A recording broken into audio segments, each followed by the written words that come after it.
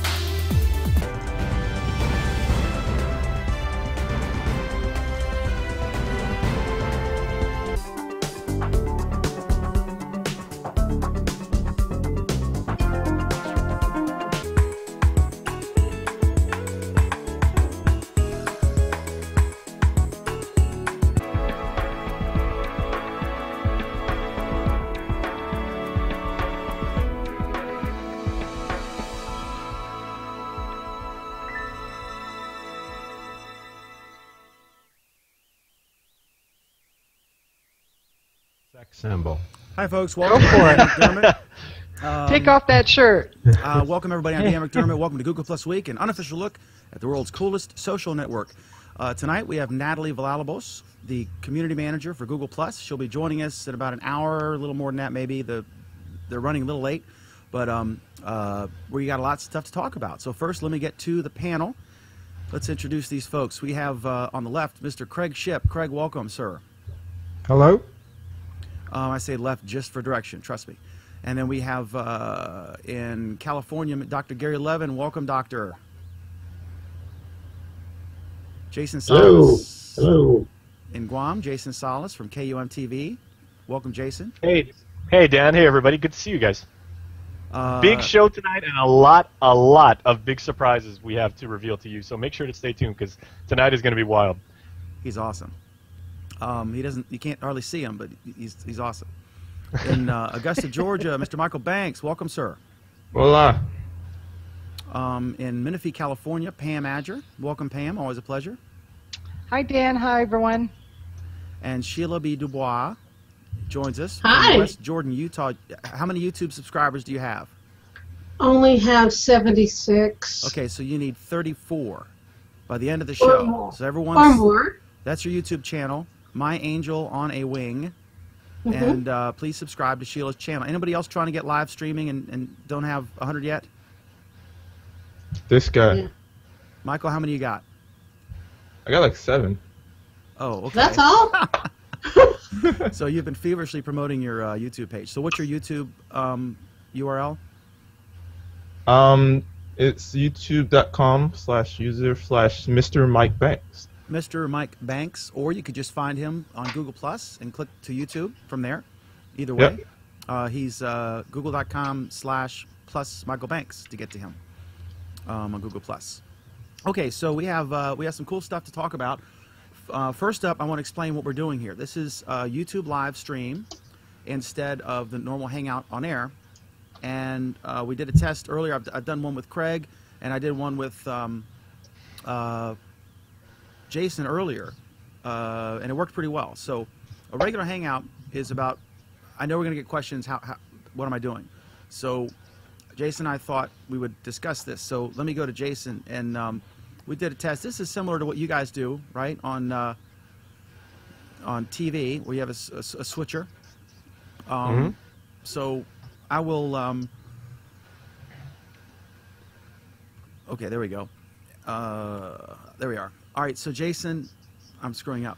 Um, I have uh, several shots, and, and I'm using a switcher, and I'm going to show you guys what we're doing. So right now I have a double shot with me and Jason, and then I have a F- F1, it's just me. F3 is just Jason. F4 is the entire Hangout or video chat computer, and that's on a laptop. I'm bringing that in via HDMI. So I'll show you what my, my screen looks like. My left screen is um, that's got the YouTube Live control thing, telling me that everything's fine. I'm within the parameters. And then on my other screen, now this is going to be confusing, or it's going to be screwy. So just kind of look where my my mouse is, and that is, excuse me, that's the left screen. That's where my YouTube Live control panel is. It's telling us uh, what's going on. Um, it says we got 24 viewers right now. And then here, if you look at the bottom here, these are my shots. Blank screen, then the opening slide, with the, which is the, this picture with Natalie. And then the opening with the music, and then me, both of us, just them. And then laptop full screen. I got hotkeys F1, 2, 3, 4, so I can quickly switch here. And then I, I'm currently clicked on my right screen, which is uh, this program, which is called Open Broadcaster Software. And I, I have Wirecast as well, but that is a resource hog compared to this. And this basically does everything. So I'm going to hit F1, go back to me. Um, so if you guys have any questions about this, I'll be happy to answer them. It sounds terribly easy to do. It's terribly easy to do. It's easier than Wirecast. It does everything Wirecast does, in my opinion. Um, it's uh, I love it. It's fantastic. Now, now I have a live streaming question that maybe you or some of the viewers can answer. I've been playing around with a, a little bit the last couple of. I guess he does have an issue. Yeah. Was Dan Dan sharing his screen? Because I didn't see anything at all. Yeah, I'm seeing the live show, and he's sharing his stream, and it's like a continual. Okay, so you I Craig? got bounced ahead. out. Okay, now he's back. Go ahead, Craig. Okay, so yeah, that's happened to me a couple times actually, bouncing out of of Hangouts. But um, I try the live stream, and it works the first time I try it. I got Wirecast, and you know, as you set up the event, you you start broadcasting Wirecast, then you go, and then it sees the feed coming from uh, Wirecast, right? And then you can start your broadcast. Well, what happens is I start the broadcast, I do a broadcast, a, a test for a couple of minutes, and then I try to do it again, and it says it doesn't see the feed coming from Wirecast. And no matter what I do, I can restart Wirecast, I can restart my browser, I can set a new event, I can do whatever I want, and it won't see the feed coming from Wirecast the second time. And I just Um, can't figure out what would be causing that. I don't know. Uh, guys, a couple of you told me to raise my mic volume. Tell me if this is okay and not overmodulated. Um, I would. Uh, I don't know. That's a Wirecast is not. I'm not. I'm not sure. YouTube is not seeing the Wirecast feed coming to it. I don't know. I'd have to diagnose that. Um, Okay. I Oh, just figured yeah. if somebody else had run into that problem, they. I don't know. Okay. Um, okay, so Cadius, let me know if I got the mic thing fixed. Hopefully, I have. So, uh, any other questions on this? So just just for the uh, for the edification of viewers out there, Dan, exactly what resolution are we operating at? Uh, 1280 by 720. Now, I did a 1080p test. It's 6,000 kilobits per second, but um, it was a bit shaky, and I couldn't tell an image quality difference at full screen between the 720 and the 1080. So I decided to just do it at 720, and then I've got you know uh, some room. So I'm shooting four, four, four megabits per second or 4,000 kilobits per second to YouTube, and then um, the Hangout's about 800 kilobits, and then I got another, you know, megabyte or so, megabit or so to play around, you know, for regular, uh, regular stuff. So, Very I like cool. it. It's fun, and this is like what we used to do when I first started out. What I would do is uh, I'd stream on Justin TV, and I used Blog Talk Radio, and it was called McDermott Report. That was before Google Plus Week, and then Google Plus started, and so I was still doing the radio thing, and like when Allen would he'd call an 800 number to talk to me, and then I'd put his picture, superimpose his picture next to me or full screen, just like I'm doing your video now, right? Or side by side, I just have a static picture. If you look at the older shows on my other channel, Daniel P. McDermott YouTube channel, then um, so now I'm back to that, and it just got Wirecast. It was just it, it was it wasn't reliable. It wasn't, and this is the first first show I've done using this uh, the new approach. So I'll see how it does. And there are things I like, like the Hangout. If I, I think if I logged in with an apps account, a paid apps account, I could have up to 15 people in it. It's the Hangout's not taking up any of the resources of the streaming computer. I'm bringing it in via HDMI. We could go 36 hours, um, but it'll only record four, so we can still only go four hours. So you could record four, stop, and start another recording right away, right? No, I mean you'd have to start a whole new live stream. So you can't do the comments, the embedded comments thing that you guys were doing before with this, can you? Sure, you can load the comment tracker. I think, can't you? Not not the comment tracker, the one where where The you questions guys app? saw. Yes. Correct. We cannot do that. Okay. Um, so if, but this is a test. I think I like this better. But we'll, when we play it back, and what do you guys think? Um, well, right now it's live on on YouTube, but it's not live on your stream. It's both. Is it? It's it's on my stream, Yes. it, the YouTube Live it. player, and the, it's also in the event. Um, Oh, in the event, but not on your main page. yeah. Well, he could post it there. Oh yeah, yeah, yeah. You know, he just shared it. He started it. He just shared it. Never mind. Yeah. So we're good. Okay. All right. So, Okay. um, But Dan, just to clarify, you could stop this live stream, and then you could create another event, or you could have already created another event and had it in the queue, yes. and then you could just start broadcasting again. yeah, and you'll see that sometimes with events. Yeah, and the Hangout could just stay like it is. You just start a new live Sure. stream. Sure. Sure. In fact, I could have several events lined up, right? Yeah. and then I Yeah. could um, I would just have to stop the streaming, and then you know, that sort of Thing. I see Craig. I see Craig's gears spinning in his head. He's getting ideas. Unfortunately, this is only Windows software. Right, right, right. no, for Um, Wirecast, don't they don't they have an uh, don't they have a Mac OS version? Yeah, He's not Wirecast using does. Wirecast. Yeah, He's not using you it. could do the exact same thing I'm doing with Wirecast if you have a souped-up computer, and Oh, Craig okay. does. Craig's got a Mac Pro. Uh, it's the current generation, not the new one, but it's it's more than capable of doing this. I think, Craig, because you've done some testing, right? Well, yeah, I'm sure. I'm sure it could do it, but like I say, the problem I'm having is with the live streaming period. Um, so I don't know what's going on with that. Yeah. To figure that out. Okay, so um, what we'll do now is what I'd like to do is load up the comment tracker with um, Natalie's post with the other stuff. We're not using. There was a question about the um, questions app. We're not using that tonight because this is not a HOA. This is um, a YouTube live stream. So what I'll do is uh, let's go to. I have I have your share, my share, and the YouTube um, in the comment tracker Oh, right okay. now. Um, okay, so uh, are there any co- comments on this topic that we should throw up there, Pam?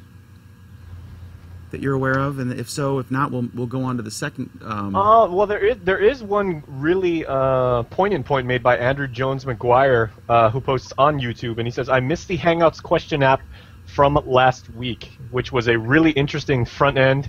Uh, that, of course, if you're watching this show and you're watching any any other Hangout on air live, uh, you can actually send questions, and they're they're trying it out right now with a limited number of Hangouts.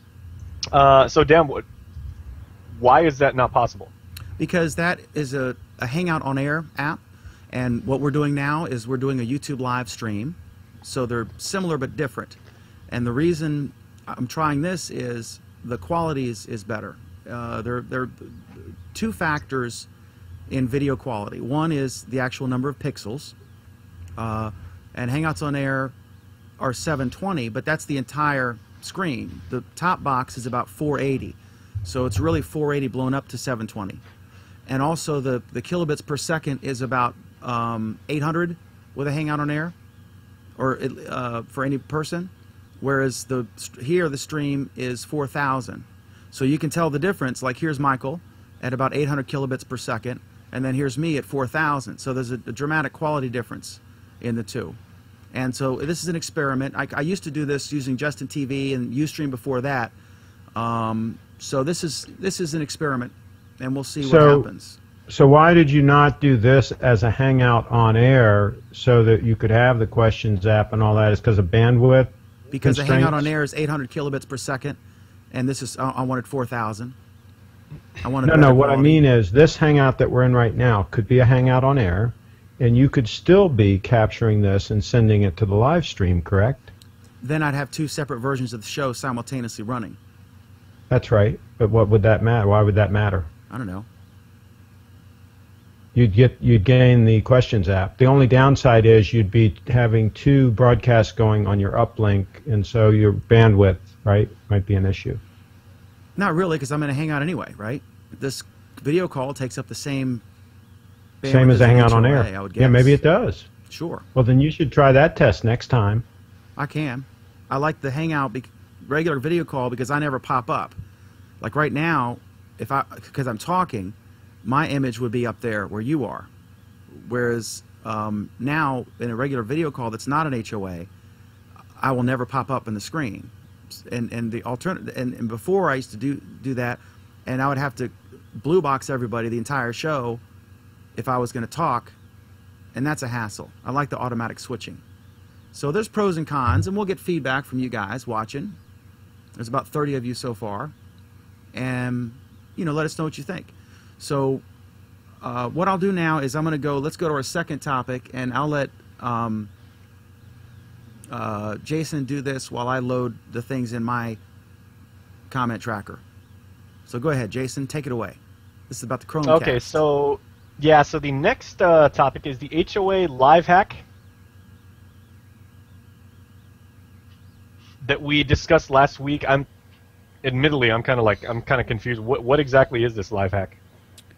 Okay, what it is, uh, Ronnie Bent, uh, or I guess Allen talked about it, and then Ronnie posted about it on his blog. Uh, what you, what you could, so it's I guess it's broken. You said doesn't work anymore. It was just a glitch. It It- doesn't work anymore. Okay, so what what it was is you could uh, um, you could start it an, a hangout on air, and, and before you broadcast, I I think this is what it is. You go to your you go if you have YouTube Live, you can go get the live control panel, and um, that looks like. Uh, I'm not going to mess with it because I might screw something up. But what you could do is you could um, mark it as a private video, not public, and then um, or unlisted, and then monitor your post. When you click broadcast, immediately delete the post. Then nobody would see it. I think Yep. that's basically the gist of Yeah. it, right? Yep. Mhm. But um, I guess it doesn't work now. Nope. Nope, not now. What do you it's- guys? Uh, what do you think of this? What do you think of the? I'm guessing that the reason they don't let you do private or limited audience hangouts on air is because why should they pay? I'm thinking they're thinking. I'm, I, my guess of their thinking would be why go to the expense of giving you free streaming if we can't monetize it, right? I think it's also a privacy issue because, um, I mean, whenever you do a hangout on air, everyone knows, hey, you're about to be recorded. This is going to be streamed to the public. But if you're able to do this with a private hangout, then you could be recorded and not even know it. You don't. There's no opt-in. So whoever comes in the hangout might not know they're being recorded.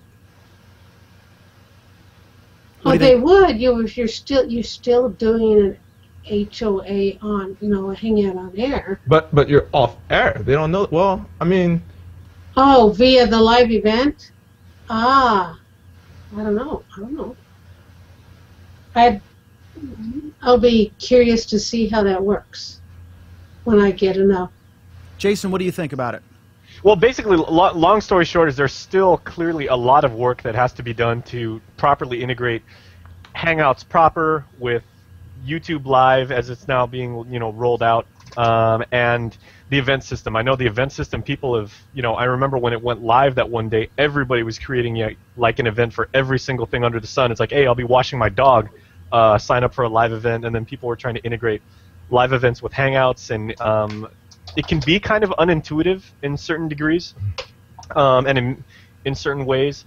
Uh, so there's a lot of work that they have to have to do to completely streamline the whole thing and like let people know exactly how to do these things really easily. Um, you can see where it's going though, and this is you know like we've talked about before. Hangouts for me personally, it's starting to really replace traditional telephony, And for the purposes of this show, you know, it's we now have the production capability to actually make this rival, you know, a a full blown TV show. But the thing the thing with events, yeah, there's I mean there's a lot of work that needs to be done to make events, you know, like really really seamless.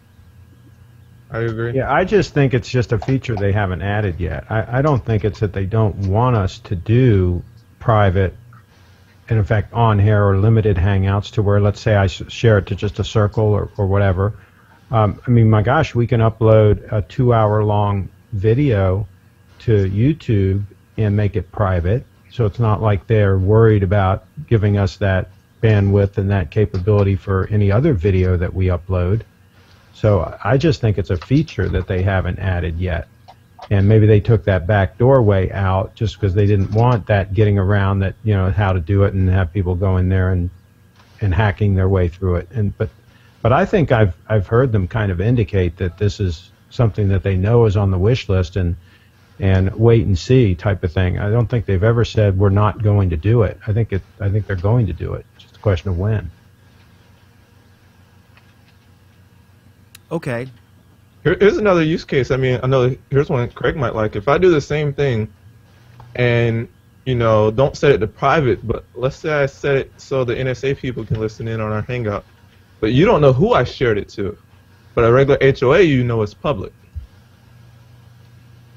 Well, but like I say, if if when the people go in to the hangout, better safe than sorry. Just have everybody acknowledge, just like they do now, that it's a hangout on air, whether it is or isn't. Doesn't make any difference. Let them acknowledge because it has the capability of being that way. And somebody can always change the privacy setting down the road on the video. That's what I was going to ask. anyway. That's what I Um, was going to ask. yeah, Can you so- do that? Yeah. So just just cover your bases and just have everybody acknowledge that this is a public thing. And if the broadcaster chooses to limit it, then that's up to him. But everybody's already acknowledged it, you know, that it could be out to everybody. Yep. Then they cover their bases.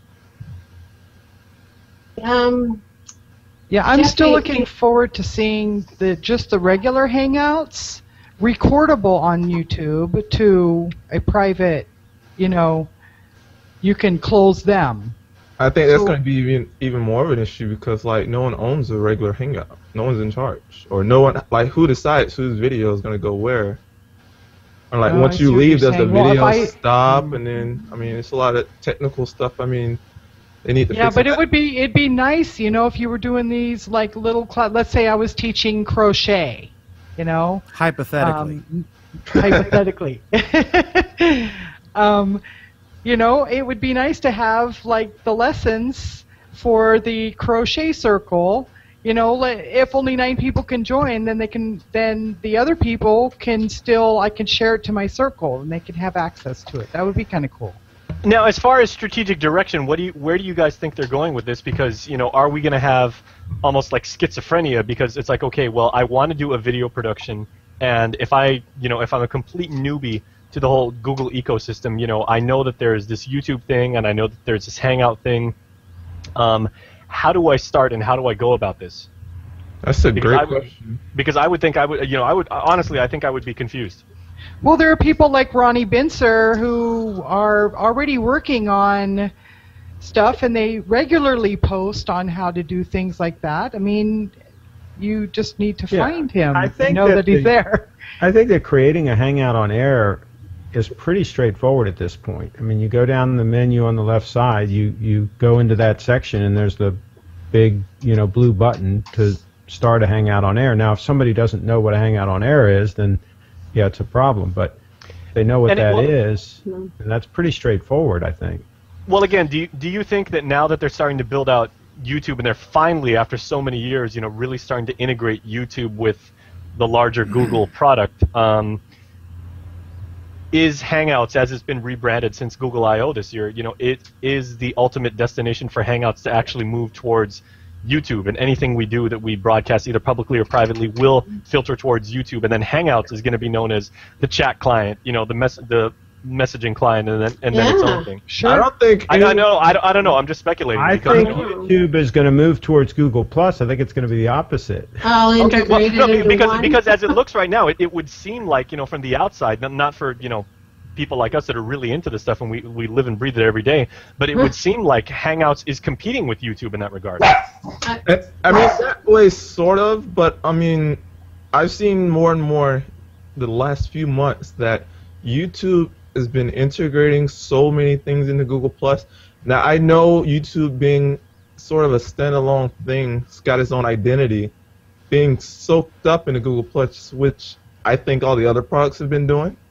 Like everything is just becoming Google Plus, becoming that extra social layer, but YouTube probably should be soaked up into Google Plus, but I think it's too huge of an identity to do that in any way. And I think they're trying to force feed it into Google Plus, and I don't know that fine balance. But Hangouts overall, in general, has been confusing to me.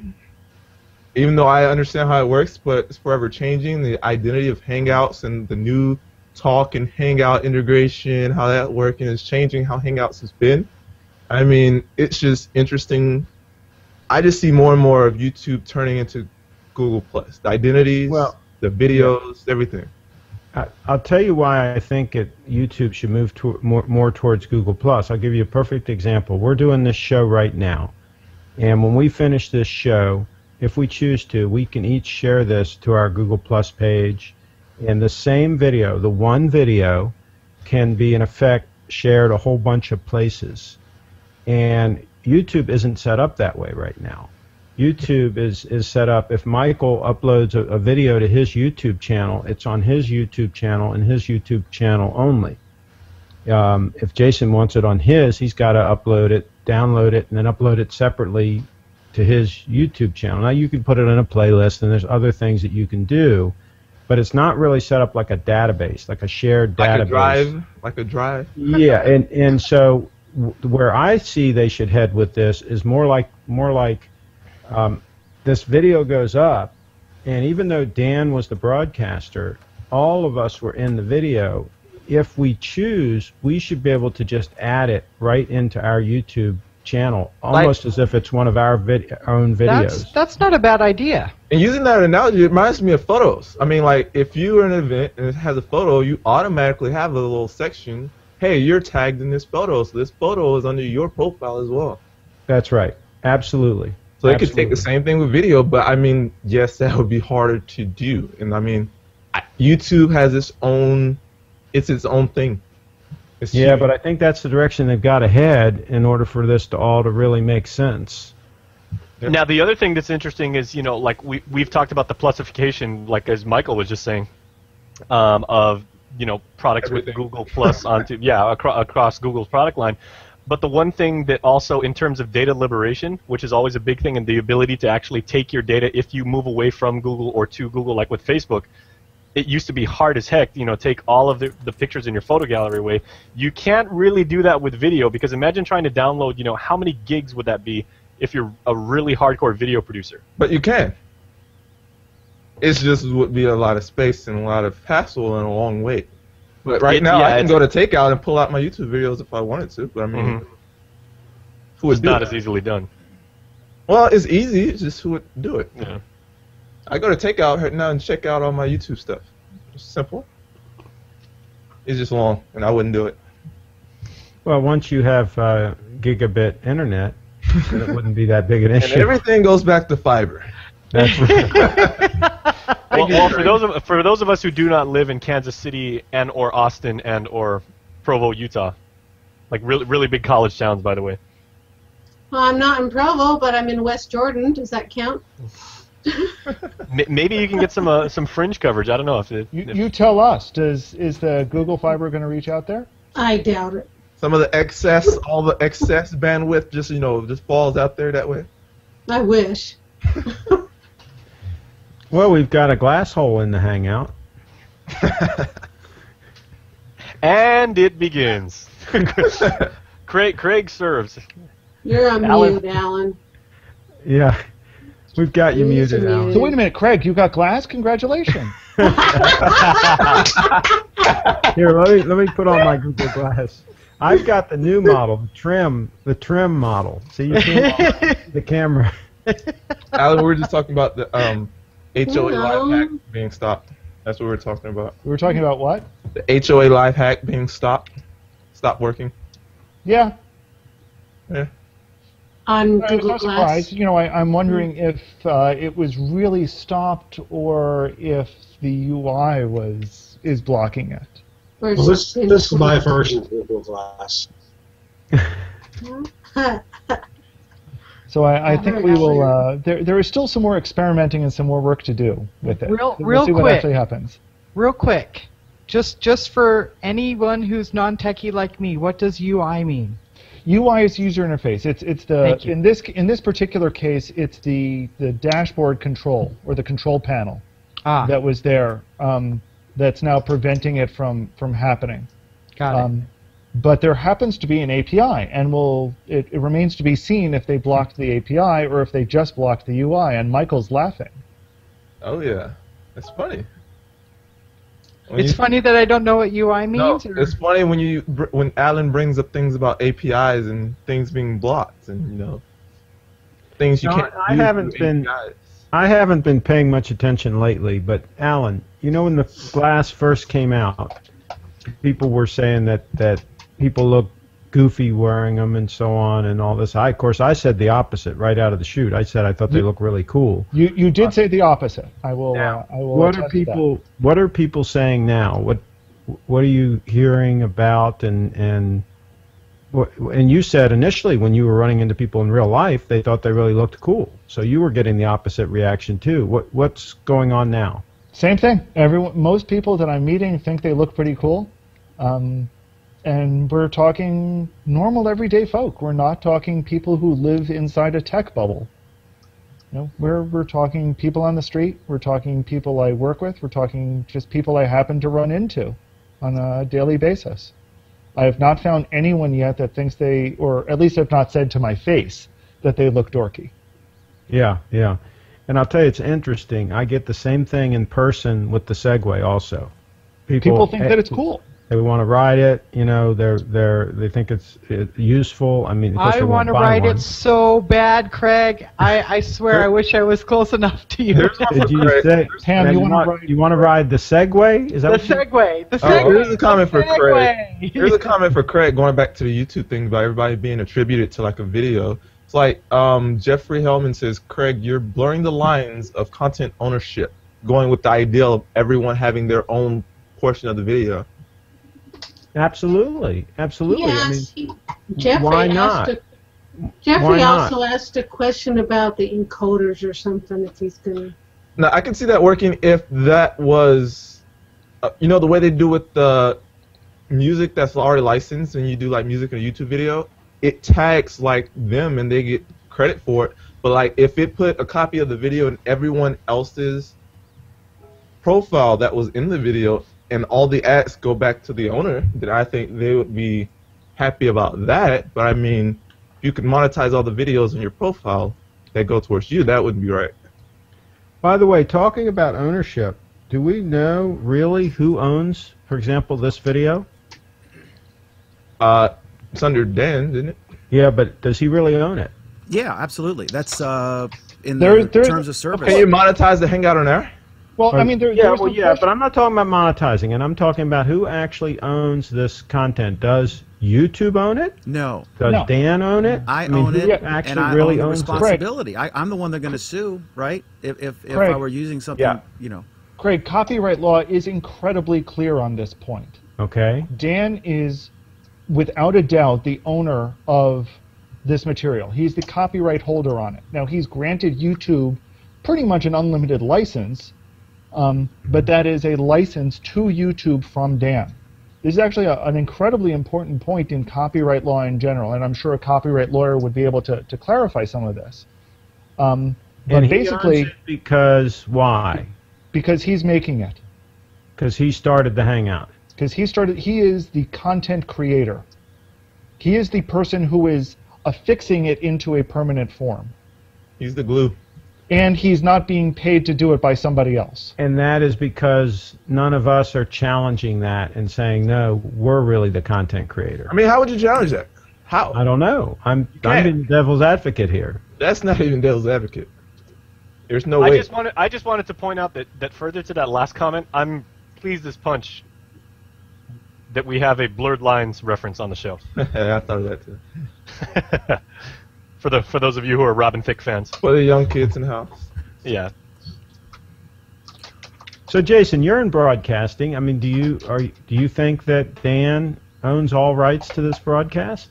I, I do because I mean you know uh, he's the person who creates the content. He uploads it to a channel that he has registered um, with his own profile. So um, uh, when I was working in the ISP business, we did a fair amount of work at that point when the Digital Millennium Copyright Act came out, and um, part of what that act says is that if you're an ISP like like I was working, you know, if people transmit certain types of information, you know, if they if people publish web pages about how to um, create a bomb or about how to you know do things that are um, of an immoral or illegal fashion. As an I as, as the ISP, I'm only considered a conduit of the content. I can't be, you know, legally liable for that.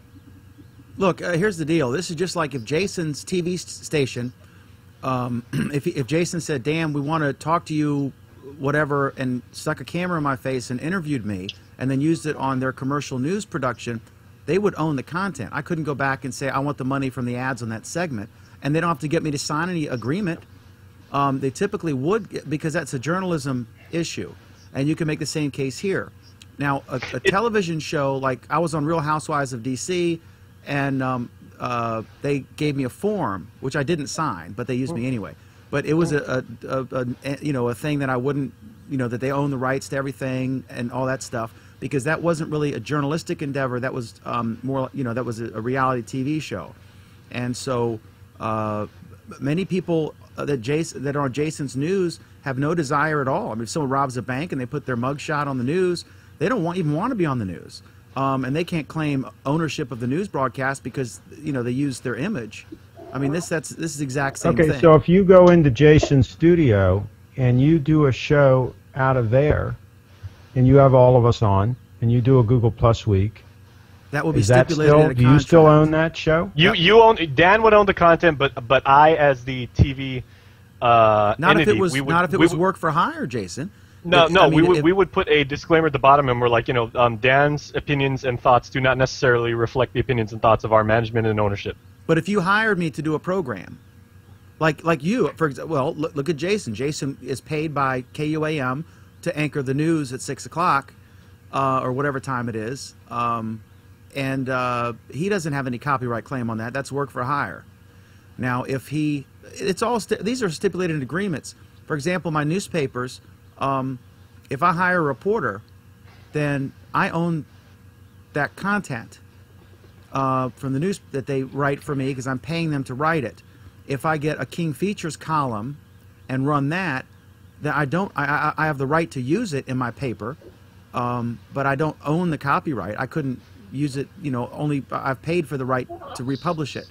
So the, you know, it, that would be stipulated in an agreement. So, so if that's the case, if if we own this content that we're uploading to YouTube, lock, stock, and barrel, and we're just giving YouTube in effect a license to use it, it would seem like to me that YouTube can't just willy-nilly delete the video without giving us a chance to download content that we own and, Why did you and take save ten it and minutes to get preserve to it. this? Why did you go around this ten minutes before you landed, Craig? Well, no, I'm just giving an example here. I'm just giving an example of why I think that it might not be 100% correct. Because they're not. No, they're, they're not required. They're not. Well, tell you tell you what, everything you would like, you would ever want to know about intellectual property can be thoroughly found at your local library. Well, How about we talk about some Google topics? Go ahead, Gary had a question, and and uh, the Now, big what, what about does Google does Google have a, a EULA and what about a Creative Commons license? Does that apply in this venue at all?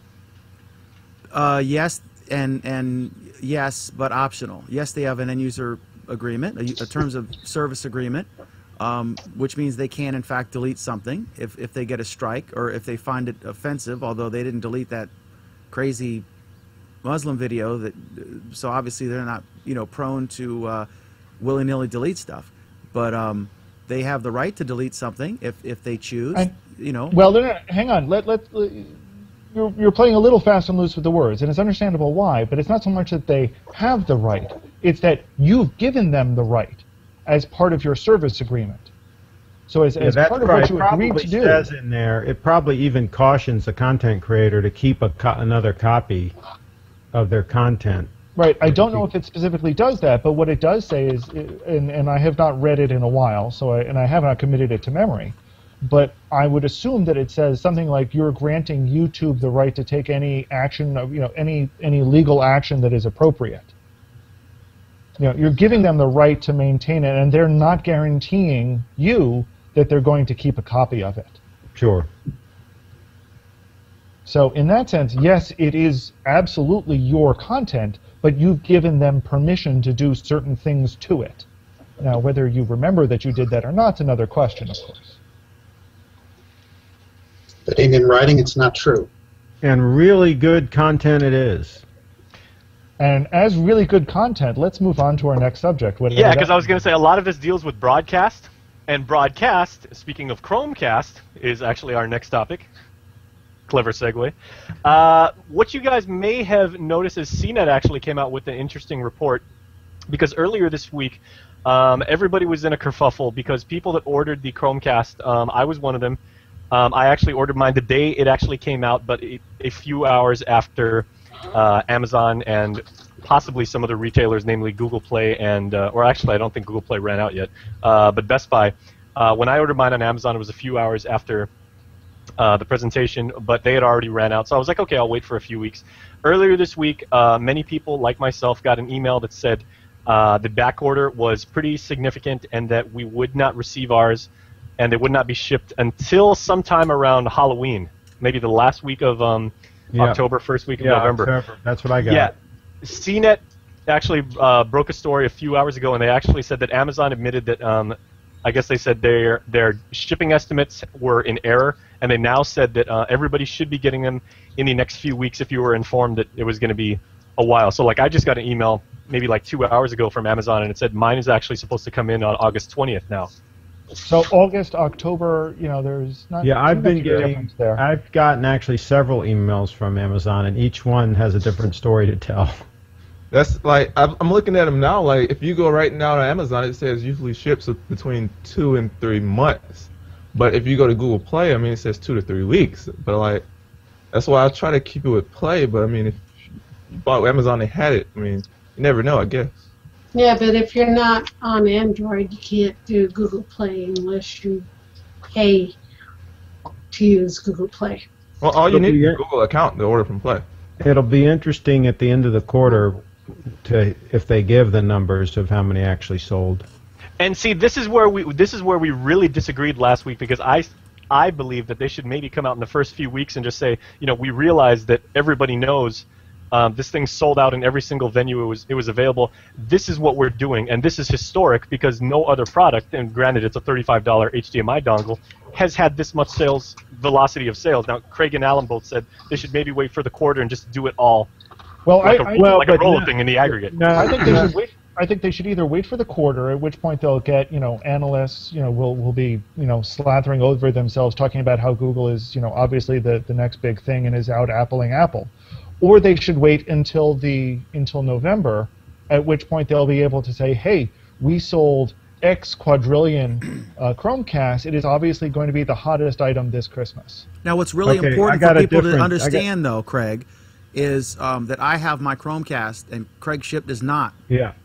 That, so, that's the important so takeaway. here's the deal on that, Jason. This is actually what I said. If you go back and rewind the tape and replay it, is if they sold a lot of units, and I'm saying a big if, they should come out with it. What They is a lot? Come out. What is and a they lot? Should, Yeah. uh, a million, two million, anything like that.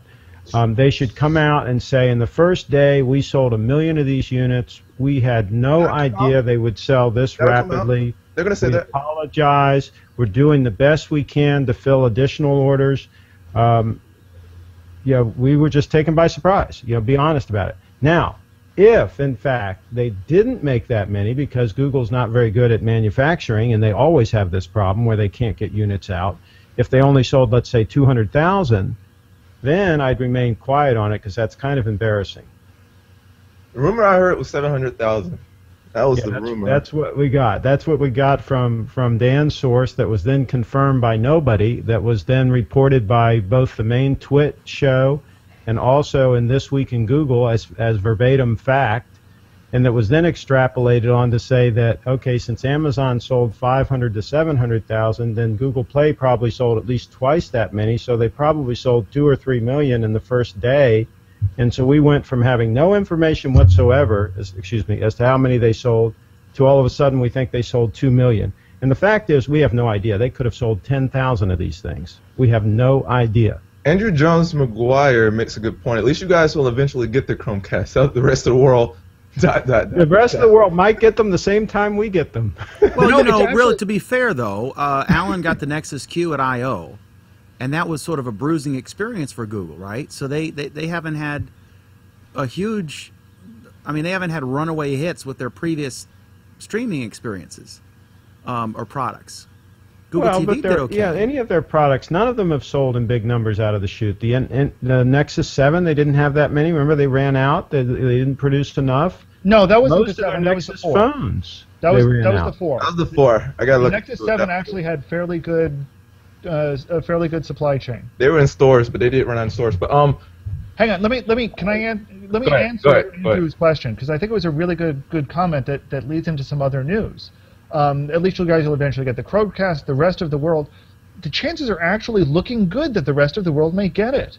I mean, we just heard news this week that you know s- countries including Germany and Austria are getting um, Google Play Music all access, and that was only two months after the U.S. got it. That's like zippy compared to some of the products in the past. So you know, don't don't lose hope. Now you know, you Canadians, uh, you know, I apologize. You may never get it. Um, or the UK or Germany. Actually, I'm I'm learning though that Chromecast with your i i devices are kind of glitchy. That's well, it's pretty much glitchy with What a- anything. It's it's kind of been Well, gl- overhyped. glitchy, glitchy in what sense, Sheila? as in well, um, I'll have to find the post, but um, Like let when you try to stream find You stuff, know- it, it continually like if you buffers. stream.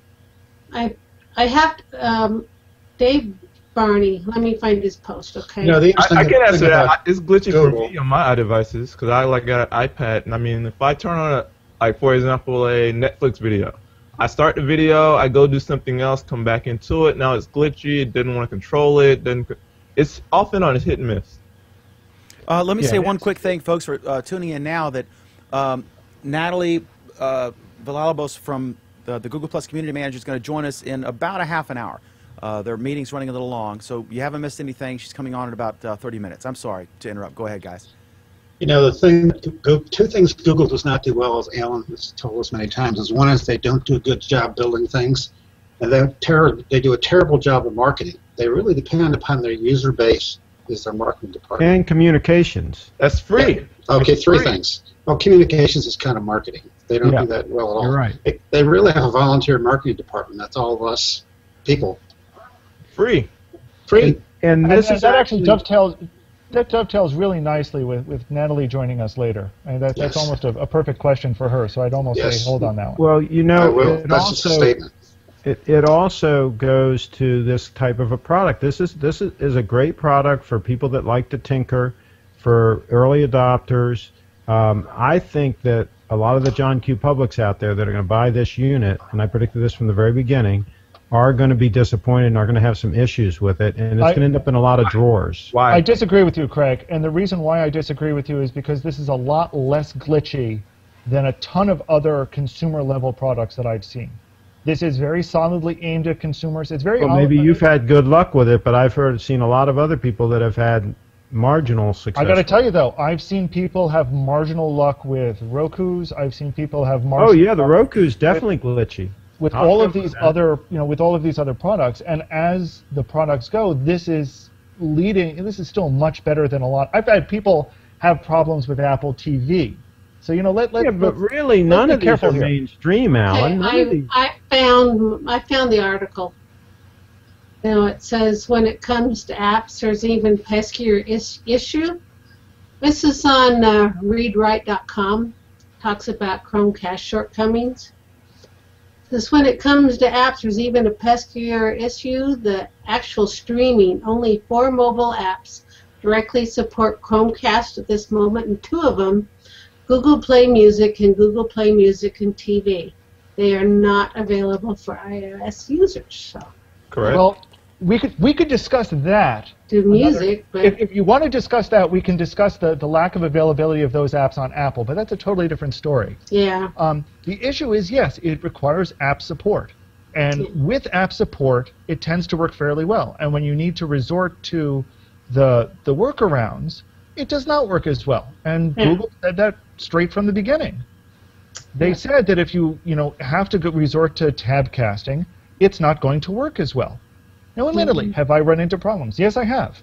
But yeah, for me, you know, I can the, the problems that I've run into, I blame more on Netflix than I do on the Chromecast itself. Implementation. Yep. So I it's don't, still I don't early even. Days. It- It's still early days for all of this. All this cut, cord cutting, and I don't understand why they ever called it cord cutting, because really it's the opposite. Really, we need a cord for Cutting the all cable of these cord. Things. Not the internet cord, the cable cord. I would call it firing the, the cable TV. You're net. not firing them. You still Comcast still a freaking pay Yeah. bill.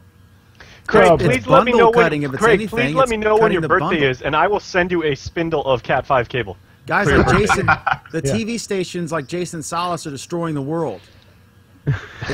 It's in June. We have Cat Five. It's cutting the cable bundle. Eh, eh, wait, Allen, I have a technical question on, on the Chromecast. Um, we know that we know that we're able to mirror um, content either at full screen from within the browser or uh, from a browser tab.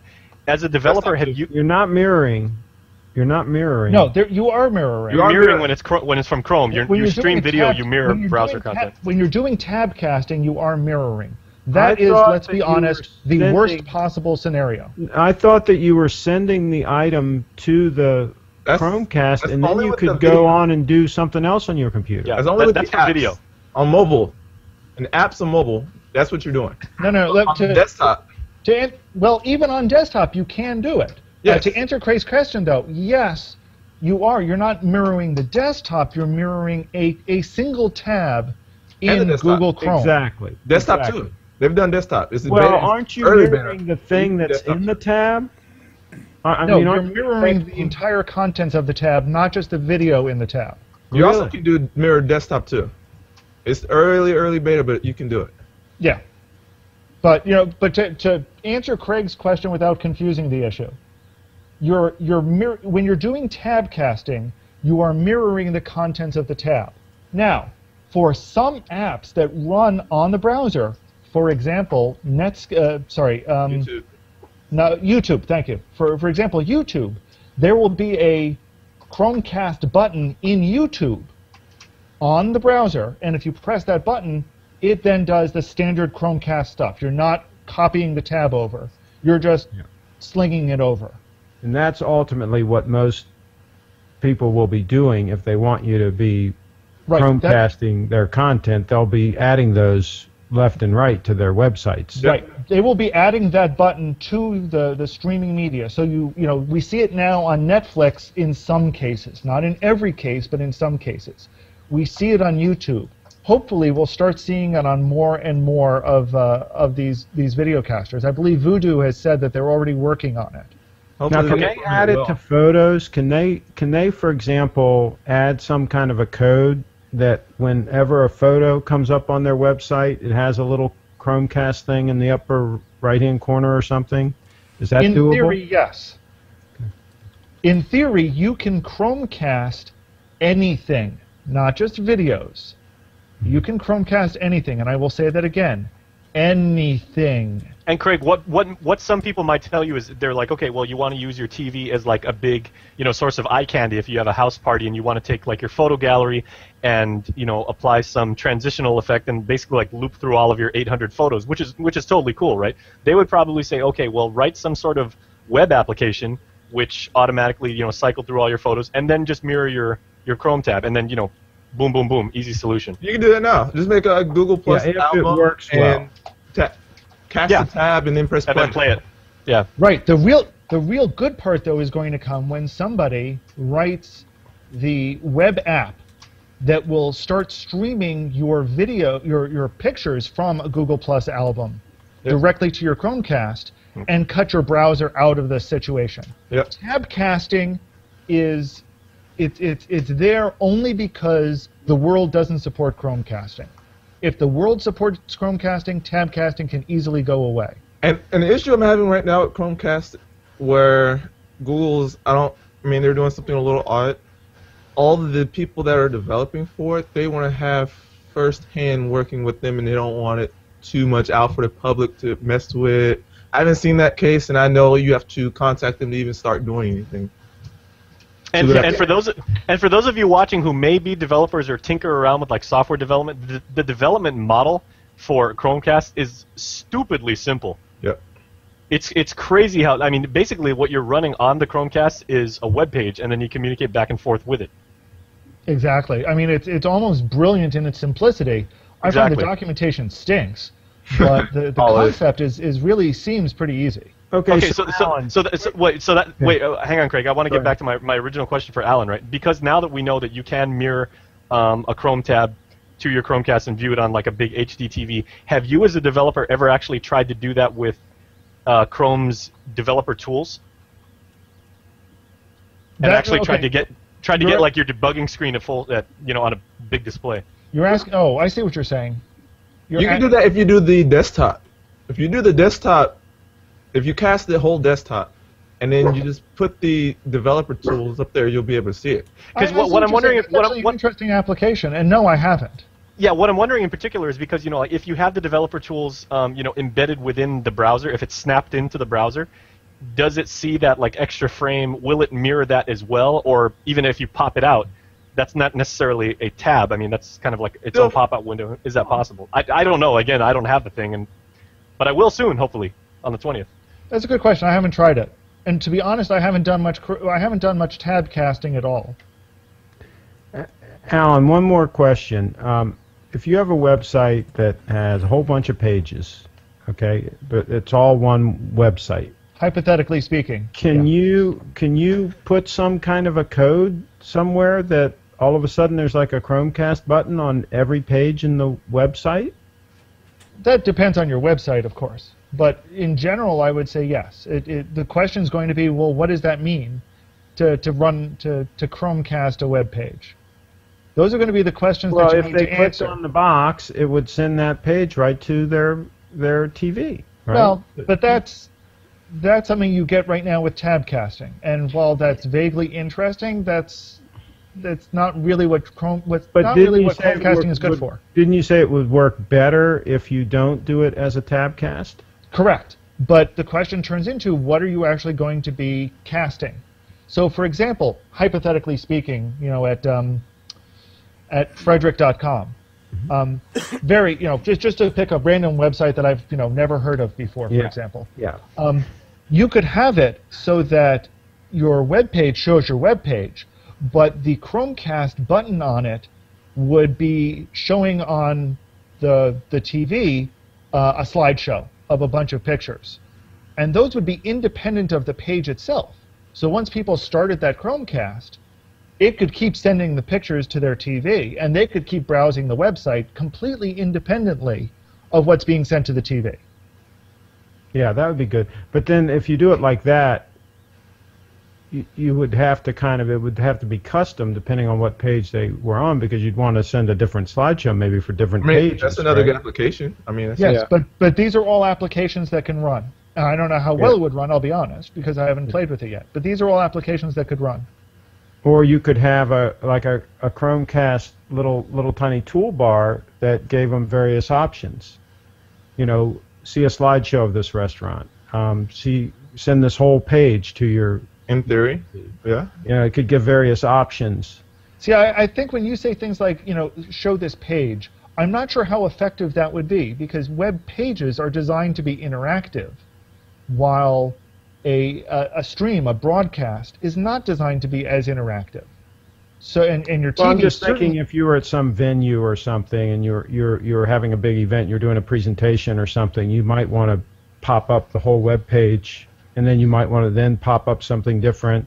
Um, and for example, if they've got a YouTube video that's associated with their web page, you could have a, a button on there to play the video. Okay. Sure. And Um, actually, you, you raise a really interesting, not not related to the same thing, but a really interested way of doing um, presentations, for example. Yep. Is you could have the the the, the slide that you're presenting be uh, Chromecast and synchronized with your your page notes on your display, so that you could be looking at your your screen and you could be reading off your notes, and synchronized with what you're reading, displayed behind you uh, via Chromecast are your your presentation version of the slide.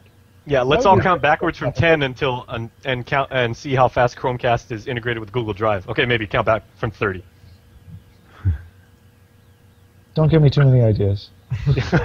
Presentations being you know being the obvious candidate but you know craig to what you were saying is also i think that's what google is hoping for this time around you know coming off what they learned with google tv where people aren't just going to be retrofitting web content in a browser and saying okay well i can allow this to be um, mirrored and then um, you know send it to uh, to over to the chromecast and display on a really huge monitor and you know if, if it works, you know, it'll be okay. It's just the fact that you're actually sending content. People, web developers are now going to start actually structuring their content specifically for the Chromecast, but using it in a browser. And that's what they really wanted to do with Google TV, is have people actually design for what's called the 10-foot UI, and really like emphasize that type of experience. So, so developers are really going to aim as this as their target, um, their target front end.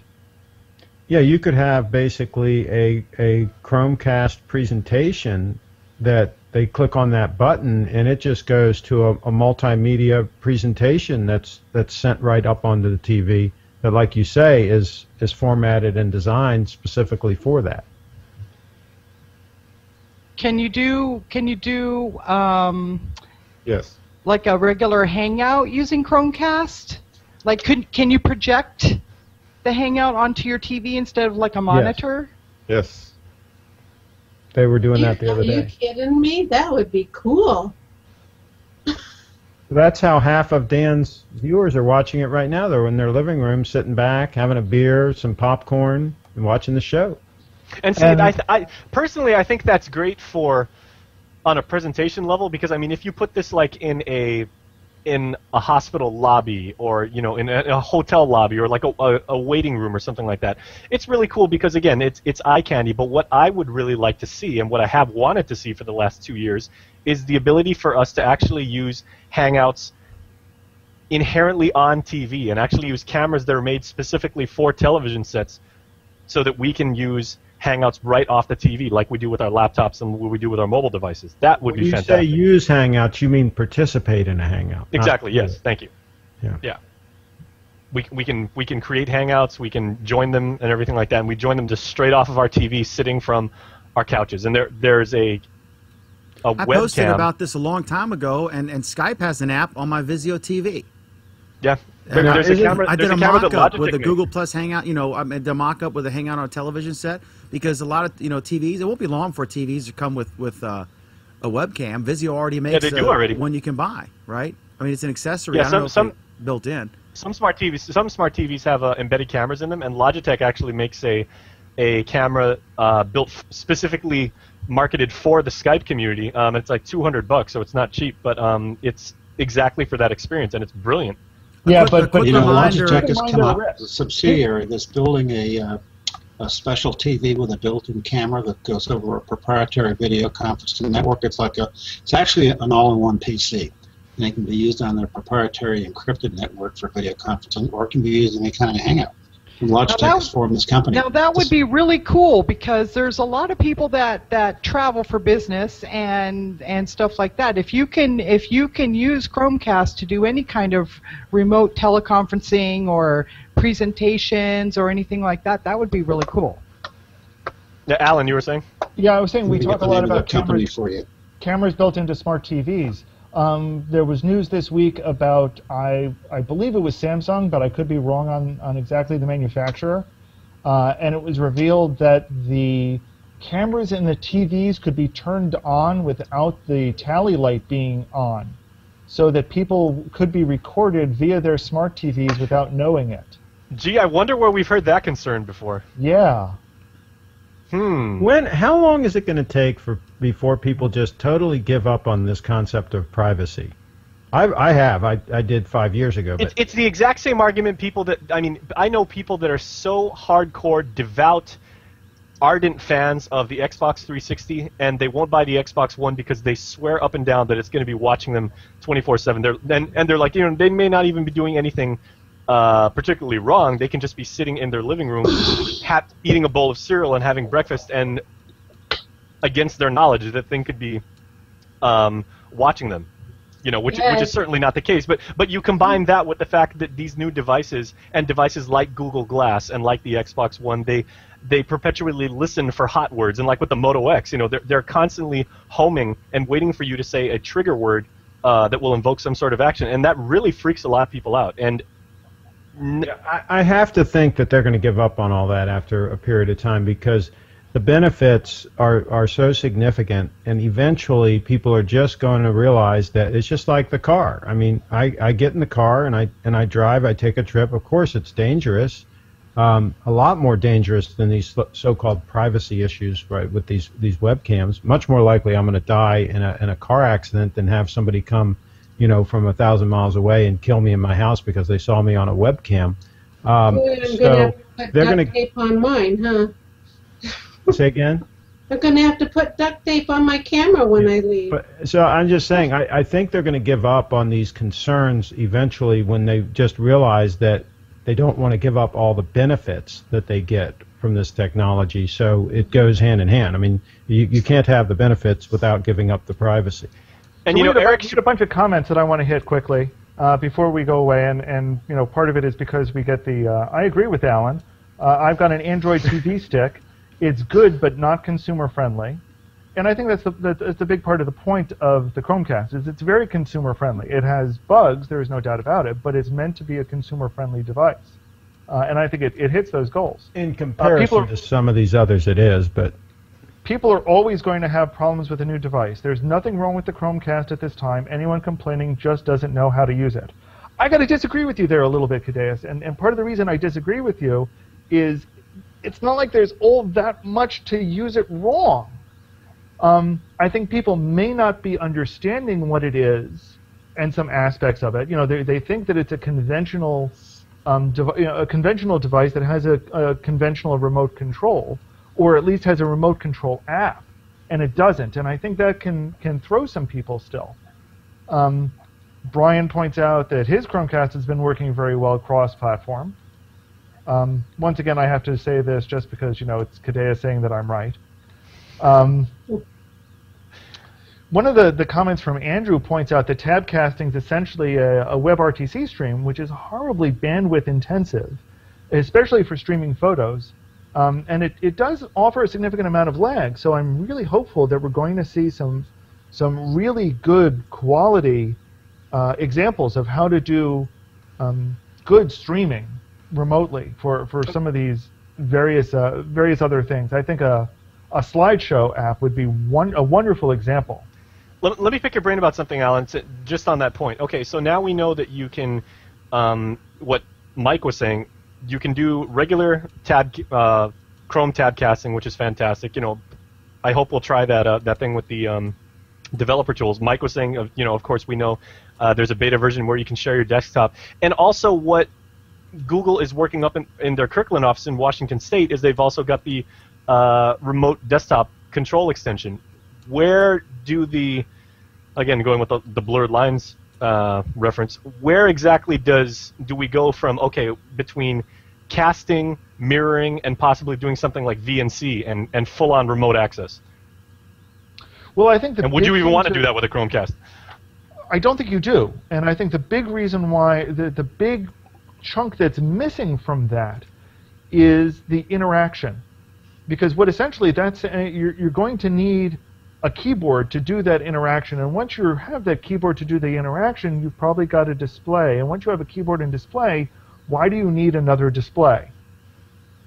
Now, there are probably some cases where that would be useful, but I think there are limited cases for the most part and I think the the fact that you've got this additional input that you need is going to be limiting. The Chromecast is going to be best, and not exclusively. uh, Let me make that clear. I think it's going to be best for something that really is mostly hands off, or at the very least, that its inputs are going to be coming from alternate sources. So I can easily see, for example, it being used as a a second screen for a number of games where your controller is still controlling something on the, the primary screen and the secondary screen has additional information or possibly group information. So those are the, the tool those are the places that I think it's best. Um, doing a remote session, I can see there's there's probably some use for it, but since you in general will need another input device for that remote session, I don't see the advantage uh, being nearly as big. Could you possibly work on your TV again using uh, like, and we're going really hardcore tech here, but using the one feature that really sets Chromecast apart, really leveraging HDM, HDMI CEC, E which lets you do um, TV level operations. Could you possibly u- use remoting in that and you know do work on your like shut off your TV remotely or like stuff like that, even when you're out of the house? To me, the only thing setting Chromecast apart is the thirty-five dollar price point. Good Sets point. it apart from what, Michael? You know, everybody keeps talking about the thirty-five dollar price point. That's the I key. just That is the key. don't This thing was- understand. this I, I don't $100, understand for I the would not have it life of me. You know, Craig. some somebody's buying this theoretically to put in their living room to hook up to their TV, and they do spend a lot of time there.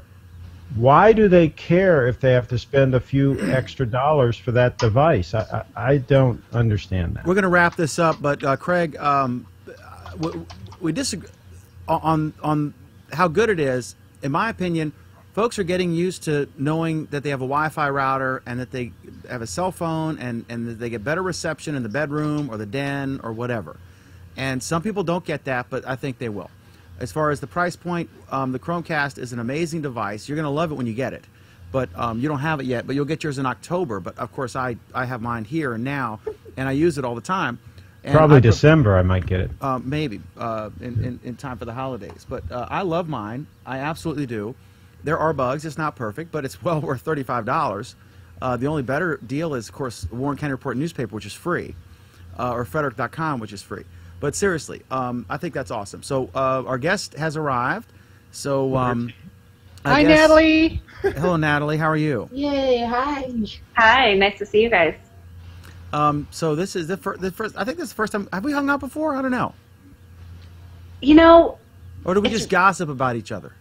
yeah, Another maybe hangouts. that's it. I I, mean, it's been two over two years, and it's it's not like I'm unfamiliar with your show and who you are, and we've talked a bunch, but I don't know if I've actually ever been on your show. We've only had a long. I feel like distance really late to the relationship. party. Yeah, we've had a long distance. Well, thank God because you you saved the show because we were really grasping at straws there for a while. I know. We even Are had you guys Craig. telling Um, each other's fortunes yet, or asking each other's astrological signs or anything? We're about to do No. just that. Yeah. Yeah. Don't give Dan any ideas for a new feature. I'm just, I'm just opposite. All right, so let, let me uh, uh, let, let me do a, cou- a, a, just a little intro, and then I think Jason has some questions for you. And Jason, I've added some great. There were some fantastic questions. I'm sure Natalie will agree. She shared our event for this program, and some folks asked some really great questions on her her post, and so I've added those. Jason, uh, so Jason, um, uh, but or I guess before you grill Natalie, um, I'll say that uh, uh, Natalie. Uh, it, it, I got to make sure I pronounce Villalobos. Is that correct? Oh, so close. So, Villalobos. so, no, this gets to be fun. Villalobos. So, uh, so tortilla is pronounced like tortilla because two L's are pronounced like a Y in Spanish. So it's Villa Lobos. Villalobos. Villalo- Villalobos. Villalobos. It's probably Villalobos, right? Yeah, it's basically. People do say it with a B sound. Um, yeah, it's actually Portuguese in origin, and it came to my family through Mexico. Um, but a lot of people will, will ask me if I'm related to the famous Brazilian composer, which I'm not. Um, but uh, yeah, some people do say Villalobos. I also go by Natalia a lot, which you guys, nobody on Google Plus really knows. Um, Oh, my family calls me Natalia. Ooh. And that will be the Oh. only secret that we get out of Natalie tonight, I think. um, so anyway, it's great to finally get to hang out with you, and uh, uh, we've chatted a million times online, but we've never actually hung out before. Um, so okay, Natalie, you are a community manager for Google Plus, or, or I guess the commu- the main compu- uh, community manager for Google Plus. So um, uh, My only question is, and then I'll throw it to Jason. Uh, tell us a little bit about yourself and how you got this crazy gig. Yeah. Okay. So this, how long do I have? We've got Got uh, least an 34 hour. and a half Hours left. hours left, I All think, right, because all we're doing all a, a live stream. so, I uh, joined the internet when I was 12. No, my um, so actually, if we want to go back way back, both my parents are actually techies. So when I started to develop my own tech career, you know, I thought that I had done it all myself, and my parents were like, Psh, you just like got in line, is what you did. Um, so for me, I feel like you know I've had models of mainframe computers in my room since I was a little kid. And so for me, being in the tech industry is really no big surprise. But how I got there was more just stumbling into lucky opportunities. And most people will say that. Um, I don't have imposter syndrome. Do you guys all know what imposter syndrome is? Like you don't feel like you belong there. Yeah, well, um, yeah, it's kind of like you don't successful people feeling like they don't deserve where where they're at. So it's not necessarily that. But uh, back in um, 2007, I started doing a gig at a small startup in the Mission called Style Mob, and Style Mob was later acquired by the Glam Network. And what Style Mob was was a um, a DIY style fashion community where girls and there were some guys were taking pictures of their outfits on the web. And I had come in to do a two days of consulting. I had found the gig on Craigslist of all things. Um, I didn't have a full time job. I graduated from college in 2006, and so I was doing gigs here and there. Anyways, stumbled upon this. I've been a part of a lot of subcultures throughout my whole life, if you can imagine, and um, and so I knew a lot about the DIY fashion scene in San Francisco. So they asked me to come in, and I eventually accepted a full time job, and I was there for about I don't know, like five or six months or something. And then um, I had met a lot of great people through a site called I'm in Like with You, which eventually turned into OMG Pop, which was later bought by Zynga.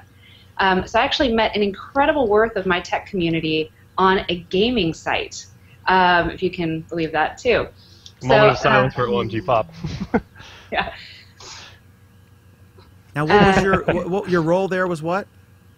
So I was a community manager, and uh, and you know I'd met all these great people through OMG Pop and uh, or I'm in Like with You, and I actually ended up applying for a job called a community manager. At this point, I had no idea this was an industry term. It was just kind of something like, oh, you're managing a community. I was helping fashionable women, you know, and teens all over the web feel accepted by their own personal style. So I applied for Yahoo, and my friend Kevin Cheng, who um, is now a part of, he's running his own company called Donna. I sent out invites to all of you guys a while back.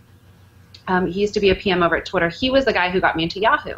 So then I joined Yahoo as an associate community manager, focusing on what was t- supposed to be a Facebook killer, Yahoo Mash, which I don't think anyone remembers, except for maybe if you were in Southeast Asia somewhere, because we were really hot in Southeast Asia.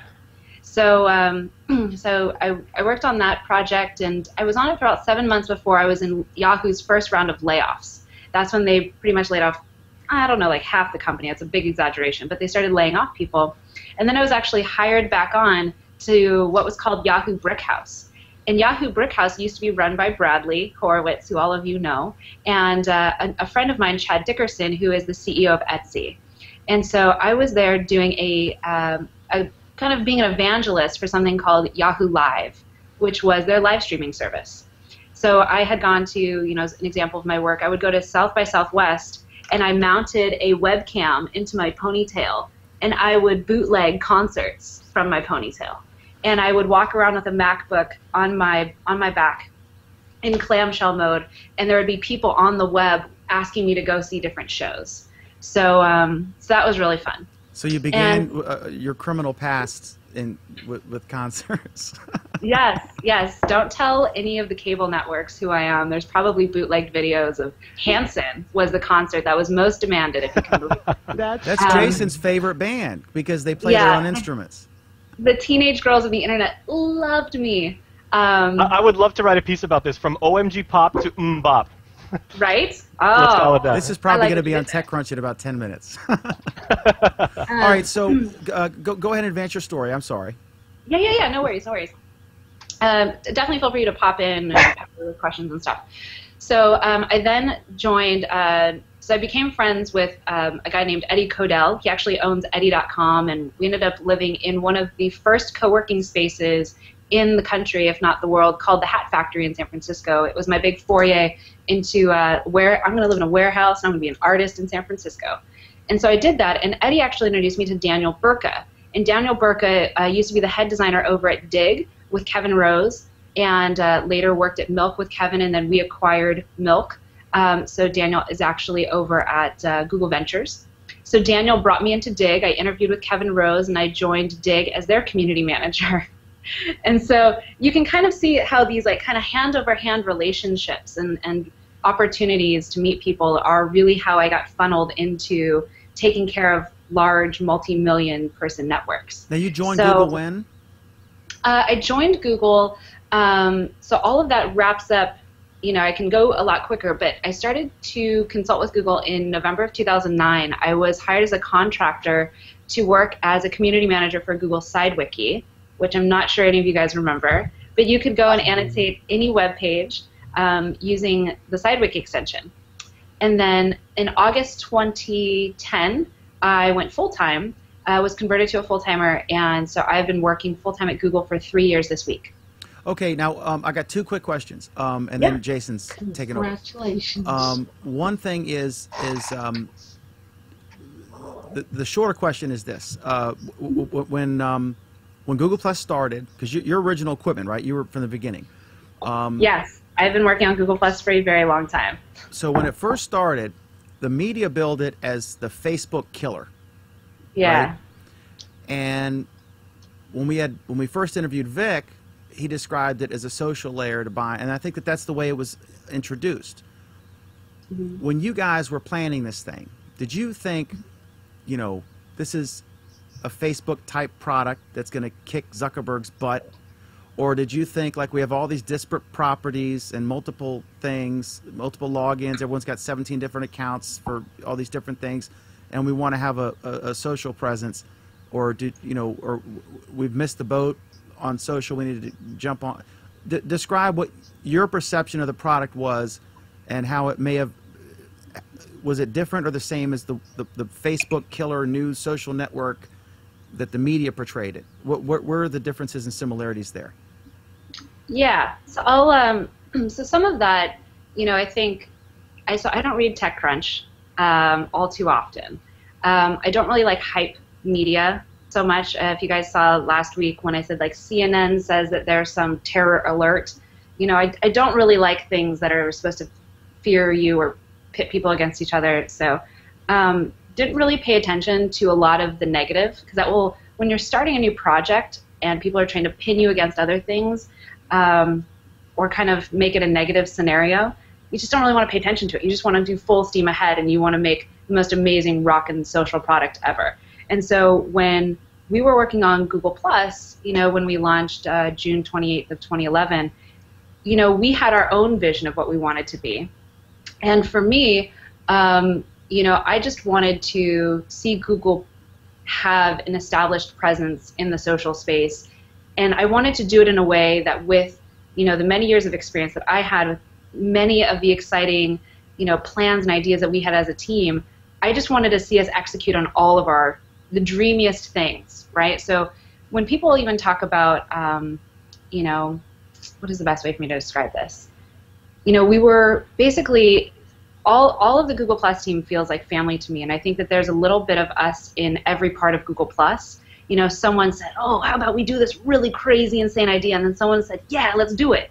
You know, so if you can imagine, Google Plus is you know an amalgamation of all the things we always dreamed of, and we got to create that. And what we felt lucky about, I think, is that people received it because it was something that they had dreamed up too. Somewhere, someone on the web, somewhere on the world, like, yeah, this makes a lot of sense, this Google Plus thing. And all of this, uh, you know, still feels very magical to me. Um, you know, on day one when we launched, I was like, man, I really hope people show up. Really hope people come. and and I think for me, um, I still get surprised by that. Um, you know, every morning I wake up and there's you know, new plus mentions, new ideas, new stories, new ways that people are, are using Google Plus. So, so I don't really like thinking that, you know, we're trying to beat Facebook. You know, I think Facebook comes up with some great things. We also come up with great things. And, uh, you know, I giggle, like, very honestly, I giggle when, um, when we get copied, not just, you know, feature for feature or design by design. But it's also very flattering when people copy each other and take different ideas. And when we think of competition, bring it on. You know, when when we have more competition in the market, the people that benefit are the people that are utilizing those services. So, you know, how many different Dropbox, you know, type versions are there in the world? How many social networks? You know, there's a place for everyone, and I feel like Google Plus is the best, uh, you know, social product uh, on the web. Awesome. Now Well, and I'm means- glad that you're not. uh, hands down on that. Everyone's like, oh, I'm, I'm Yeah. glad. I'm glad that you and Facebook are not in some some uh, uh, smackdown a la Samsung, Apple, or something. Um, yeah. okay, it's- so go ahead. also and then- it's not really it's not really in my character to be really um, brawl. I don't brawly. I just was about to come up with a word. Uh, I'm not a very violent person. Um, you know, things get really exciting when, uh, like I said, when it when it's more you get copied. You know, because you're like, oh man, that means we did it right because like someone else took it. Sweet, you know, score one for the team, and and that still feels okay. Um, you know, like we have great growth and we have a great community and we keep shipping. You know, and we're never when going to they stop. and Natalie, when they do that, when they so-called copy you, that just makes your team work harder to make your product even better. Yeah, it's it's like competition's not bad. I mean, I think that it's Mm-mm. you know even with like phone development or app development or all sorts of things, you know, you're going to have a style or a version that works for you better than the other one, and, and that's okay. You find what you need on the web. okay, so You we have a bunch of um, questions that we've come up with. Jason specifically, we have we have Yeah, questions. I have I have Jason's list. I was like, oh man, you share with me the craziness that you're about because he was like, we're gonna stick it to you, and I'm like, ah. so I wrote, I wrote the have old, I wrote the Old Testament, but but actually, I want Yeah, go ahead, uh, Jason. Natalie. Yeah, that perfectly segued what you said. The one thing that I really wanted to start out with is the word you used, uh, you know, describing yourself with character. And like since the very beginning, I mean, I was fortunate enough with several people in this hangout right now to be on Google Plus on day two. And I know a lot of people were saying it's like, oh, you know that that Natalie girl, you know, she seems really really nice, and you know, she puts um, you know, she writes, she's really funny and everything, and that Vic guy's like really cool, like, and he's like some VP or something. And I told them I was like, you know, I've been in hangouts with these people. That's exactly how they are. Like Vic is one of the funniest people you are ever gonna meet in your life. The guy is hilarious. I mean, you know, he's a corporate guy, but he's also really funny. I was like, Natalie, she's really sweet. She's incredibly spiritual and stuff like that. So, so two point question here. So, one, talk about the need now that Google is a social um, entity for all of you there to actually be genuine, maybe for lack of a better term, and just you know be yourself and, and project you know your own personality. Um, and then also the one thing I wanted to touch on is the one thing I've admired about you so much is throughout this whole going on two and a half year uh, journey, if you will, an odyssey of Google Plus, is you're one of the few Googlers who's actually stayed in the exact same role with a company that progressive for so long. You know, you've even got people on the Google Plus team who've now moved on to Google X or you know moved on to you know Gmail or did they're, they come from AdSense. You've actually stayed the course. Not that that's you know necessarily a bad thing. Um, and you know you've actually taken this project and you know seen it grow and been through there and you know the ups and the downs and everything so maybe talk about like what you've learned from that dynamic and actually being with it since the very beginning Yeah. so I might have you rephrase the first question, but I'll definitely go to this to the second one. okay You know, so I've been, uh, like I said, I've been on Google Plus for for a very long time. I feel very honored. You know, I remember, you know, it being a, a, a very intimate family. Now we're a, a bit bigger of a family. Um, you know, growing up together and launching a product, it's kind of like launching, oh man, launching a child. That's not what I meant. I'm not telling you to catapult your children, but it's like birthing a child, right? So it's this thing that we created together and then we pushed out into the world, and that is really incredible. And I was actually, you know, when I was reviewing your your questions, it's not the first, you know, social network that I've done that for. I, I think I'm on like number three or four, and um, but this was the most inspiring and the most most exciting, the most demanding. You know, um, people will in this room or people watching might know that I'm dating Timothy Jordan, who used to be on the Google Plus team. He was our developer advocate. And when you're working 16, 18 hour days, you get to know people. And so we fell in love uh, before we launched Google Plus. And you know, even from day one, I was like, you know, Google Plus is a success because you know it already brought two people together, and we're good. You know, um, so and he's moved on to to Google X, and he's now the the developer advocate over on Glass. And we've had a variety of community managers. Brian Rose went to Niantic. Um, you know, we've had uh, you know, Toby Stein's no longer with the company, Catherine Graham is no longer with the company. We've had people just move on in their lives, and that's totally cool. When when we find out that people are moving on, I get excited because they're they're they're pursuing themselves and they're you know they're moving forth in a way that they think is really good for themselves. And I don't necessarily I get sad and I, I have that mournful moment, but I'm really excited that they're they're challenging themselves and taking on something and they're being brave I really encourage people to be brave in their careers and be brave with themselves. And so I think that it's something that I feel I honor. Um, and so, you know, there's actually, uh, you know, a couple community managers currently on Google Plus. There's um, there's Sky and Dory, and then myself. And so, in being the first hired community manager for Google Plus, I think for me, I've always, you know, in the beginning, I felt like a pillar of the community, and I was really feeling like my profile has been a place to showcase what other cool and interesting people are doing. And and I still feel that way, but I think, you know, I, I still like promoting and doing doing good work in that way. But I think as things evolved, what I really wanted was, you know, to use my community manager powers and find ways to nourish and build other pillars. Because it wasn't a community should never be hinged on one person. That just that doesn't work. That's not a community. So for me i've tried to really listen to all the different users all the different members of google plus and because i really don't like the term users. That's why i'm going to try and change that. Um, you know listen to their stories listen to their ideas go to meetups and i say you know how can i make you more awesome how can i use google plus to get you where you want to go because ultimately I'm going to be a successful community manager if you get to tell your story in a better way or if I connect you to this person or if I give you this shared circle of you know 300 foodies. I think my DIY circle of crafters is 650. It's crazy. Right? But when someone is new and you gift them the opportunity to supercharge them and make them more awesome, they get stoked and then they go tell their friends. And that's to me the power of Google Plus, that word of mouth element where someone's like, man, I really got to achieve and I feel welcome here and, and, and people know me and I know myself better through Google Plus. And so my work as a community manager really, you know, has been fulfilling for the past years because I've been able to nourish other people. And, you know, that's hard to walk away from.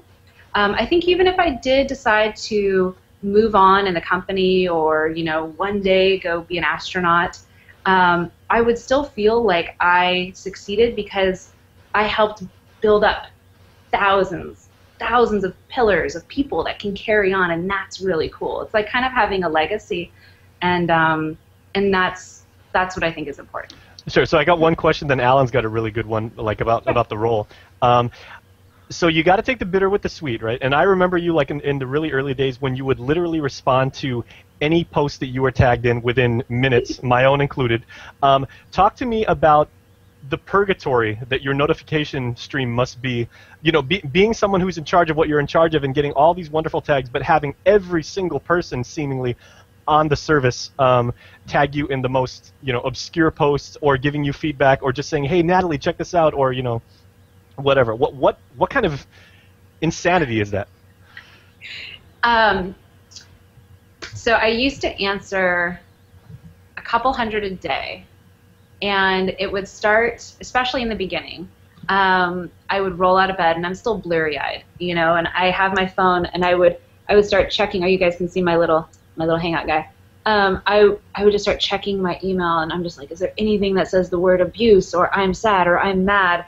And I'm looking for everything, right? And I'm barely awake. But you know, I would make sure there was no crazy things going on, and then I would allow myself to take a shower. But if if something was going on or something around the world happened while I was sleeping, I would just like put my robe on and get on my laptop and like start going as fast as I could. And it's it's slowed down since then, and I think again in helping to build up more pillars, more community-minded helpers, more people that are educational resources. Um, I actually get less, so it might not be as crazy as you guys think. Uh, you know, my notifications, you know, have always been at 99. Um, it's never anything different. When I go hang out with other team members on Google Plus, they're like, "Are you kidding? Like that's normal?" And I was like, "Oh yeah, don't even worry about it." Um, my trick that I do is that um, I was mentioning in Gmail is I have a filter for everything Google Plus and every mention of Plus Natalie, and so all of those get routed to a Gmail filter. So I actually have every single Plus mention that anyone's ever done to me saved as an email um, in my Gmail. So I, I know how many over time I've responded to, or at least how many have come in. Because sometimes you know you're like 10 comments deep, you know. So, So kind of like the same way that Justin Bieber's got his own rack at Twitter about all the all the tweets that mention him. There's probably some like some server in Google's data center that says here's Natalie's mentions. Or Yeah, yeah, and and it and I don't have any other special tools. You know, I have exactly what you guys have. Um, my my Google Plus is not some experimental crazy version or anything. I have exactly what you have, and I've always loved that because when when people are feeling this pain of notifications or some pain about anything, I'm like, oh, I know exactly what you're talking about. So even for me, you know, on my plus mentions, you know, I'm hundreds of thousands deep by now. But you know, I can go back to saved conversations and I can go and find things and everything's categorized and it's it's actually really useful. So Okay. my purgatory has has lessened, um, unless you know there's some hot hot button issues and I and people really try to stick it to me while I'm sleeping. Um, and that's really hard. Or, you know, I get the occasional, you know, someone tagged me in a photo that definitely should not have been tagged in, right? and so, you know, I have some really funky messages, you know, and and shares. Like, I don't, e- I won't even screen share them for you. They're pretty crazy. Um, you know, so I've received every style of communication on Google Plus, and it's well, and, and I realized that I've just now referenced Hanson and uh, Justin Bieber, so it's like I'm going to transition over to uh, It's Allen now, great for 'cause he's got SEO, though. Thank you for that, Jason. So, so Natalie, first of all, it's great to have you on the show, and it's you know we've we I've been talking to you probably since I was first on, and that's always been wonderful. But I think one of the things that always has confused me, and I know it's confused a lot of people because we've talked about it on this very show, is um, kind of a, a two-part. You've you've mentioned that a community manager is a standard term; it's a standard job description. What is a community manager, and what do you do? You what does a community manager do in general, and what do you specifically do as part of this job? Because I think people don't really understand that. Yeah. No, it's a really great question. And I will say that as an industry term, um, there it, within the tech industry there is a community manager. Later, you know, as I went through my career from 07 to 09, I held many different types of community manager jobs at different companies, from startups to I worked as a, a community manager for the Department of Defense. You know, things like that. Um, each one is very different. Uh, for Google, in the beginning, when Google Plus first started, you know, we called it kind of the wild, wild west. You know, we didn't really know how a community manager should fit into, you know, a gigantic social network. Um, something like this that was just kind of blossoming and, and blooming, and there were, you know, I'm I'm go over here talking to uh, Dane Cook one day, and then over here I'm talking to, you know, Blink 182, and then I'm like ho- helping a guy with his cooking show, and then I'm like over here ask, you know, answering 500 support questions, and it was all over the place. Now that we've grown up a bit more, we have specialized teams that will focus on different areas. So the Google Plus marketing team will focus on celebrities, and they will focus on cooking shows, whereas my role over the past, I'd say, year has more so evolved into being less of a face and a voice and being, you know, um, meeting everyone and trying to, you know, you know, herd all the cats to more of a support-based role. So some of the, the things that I've launched in that vein have been to create scalable support solutions. So like I said, people would try and plus mention me in the middle of the night, and then they get really pissed off when I wouldn't respond to them. And they would take it really personally, and they didn't understand why I slept. So we created the Google Plus help page. So now there's a team that you can plus mention at any time of the night, and granted they have their own working hours, but you can plus mention them whenever you want, and you get a response. So you don't necessarily have to ping, you know, me, Vic, Bradley, Guy Kawasaki, you know, you can just ask a simple question. So I launched the Google Plus help page with my team. Uh, the Google Plus Discuss community is another version of how we're trying to develop community and support within the product. You used to be able to go, to, you used to only be able to do it in the Google forums. And so we created the community. And I actually have some secret helpers that help me out uh, within that community. And so I work with them behind the scenes to really foster and deliver the right kind of education and opportunities. Again, kind of going back to building out evangelists and pillars of community. Um, so for me, right now as a community manager and having seen my role evolve from being like a party host to a Hangout On Air host to, you know, a face and voice, and I, am still very much a face and a voice and an advocate for you guys to the product team and from the product team to the users, but it's just evolved into more of a how do we build these scalable support based solutions so that everyone gets an answer and they have the best help on the web. So at least for now, that's where I'm at. When it comes to you know a community manager in the industry, generally you're perceived uh, as a conduit between the users and the product team, and you are their advocate, right? So whether that's you know things that people love or hate, you're you're that communicator. You're helping to maybe run some user experience studies. You're uh, working with research teams. You're sitting side by side with the engineers, trying to think of solutions. So, so uh, ju- just to clarify one thing, you mm-hmm. said you're their advocate. Which there, The the user's advocate or the uh, the engineering team's advocate? Yeah. So community manager is really seen as the people's advocate, like okay. the user advocate. So. So, so, so when I so, so when I respond to things and I say thanks, I'll tell the team. That is my job. It's okay, interesting, so Allen, because not only is she an advocate for what she hears from people, but her mm-hmm. job is to use the product all day long. And so she, unlike ah. the engineers, because we talk about this, you know, there's dog fooding and everything, but but uh, there, there's a so, sometimes you see folks designing a product and they really don't use the product. Um, it'd be like if you had an iPhone and you were designing the Android app and you would test it in dog food a little bit, but your, your go-to phone is the iPhone. Your job, uh, you get a lot of, not only are you forwarding what we say uh, and what all the users say, but you actually say, you know, this this this is screwed up. I don't like this aspect of it. So I imagine that's valuable, and your own experience. I mean, you're a user as well. You're you're one of the users, right. not not just, uh, um, you know. So and and you're a high. For those of us who get a lot of notifications, it's good that there are people in the same boat um, who uh, can you know help with some of that traffic control. And, and that's a and, that's a big problem because it, it, yeah, it gets crazy sometimes and, and know, stuff slips for, through the cracks.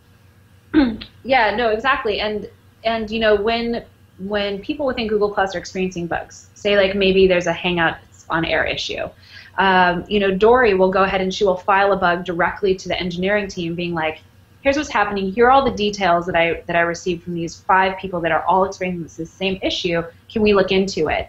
And so we start driving resolutions based on what we're hearing. You know, and let's say I have 30 people that are like, "Man, I really don't like these plus one posts." And I'd be like, okay, I'm going to create a report about that with all of the different qualitative information, and I'm going to share it with Shimrit. And then Shimrit can say, okay, like let me think about you know how we're doing this, right? And so it's really this opportunity. We deliver information in a couple different ways. I will say that I probably spend two to three hours on Google Plus per day because I probably have sometimes anywhere between three to five hours of meetings and that's not counting that I have an hour and a half commute time, you know, between home and work. So I'm in there and I'm picking stuff up.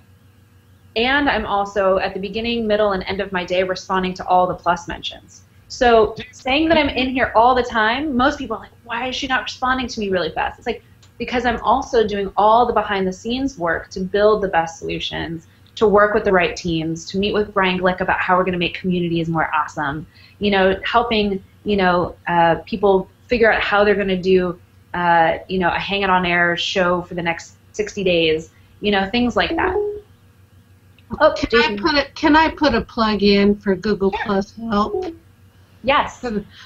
Um, I will say to all the viewers that are out there, if you ha- if you don't have Google Plus Help circled, circle them. Mm. And if you have a question, if you have a problem, go ahead and tag them. I did. especially when I Absolutely, had and a lot of my when um, I had my page problem. When I had my page problem, they went to bat for me and got it fixed. I don't know how they did it, but magic. Thank you. We have a, we have an incredible team behind the Google Plus help page. I don't and think it's marketed well enough, Natalie. I, I I can't tell you. You'll you'll see me. I mean, frequent. I I know you. You're one of the Google Plus Help uh, team, um, but uh, frequently someone will plus mention me and or Allen, um, and uh, they'll say, you know, how do I do this, or you know, there's this bug, whatever, and I'll just put in a Yeah. comment Google Plus Help because a lot of people don't even know it exists.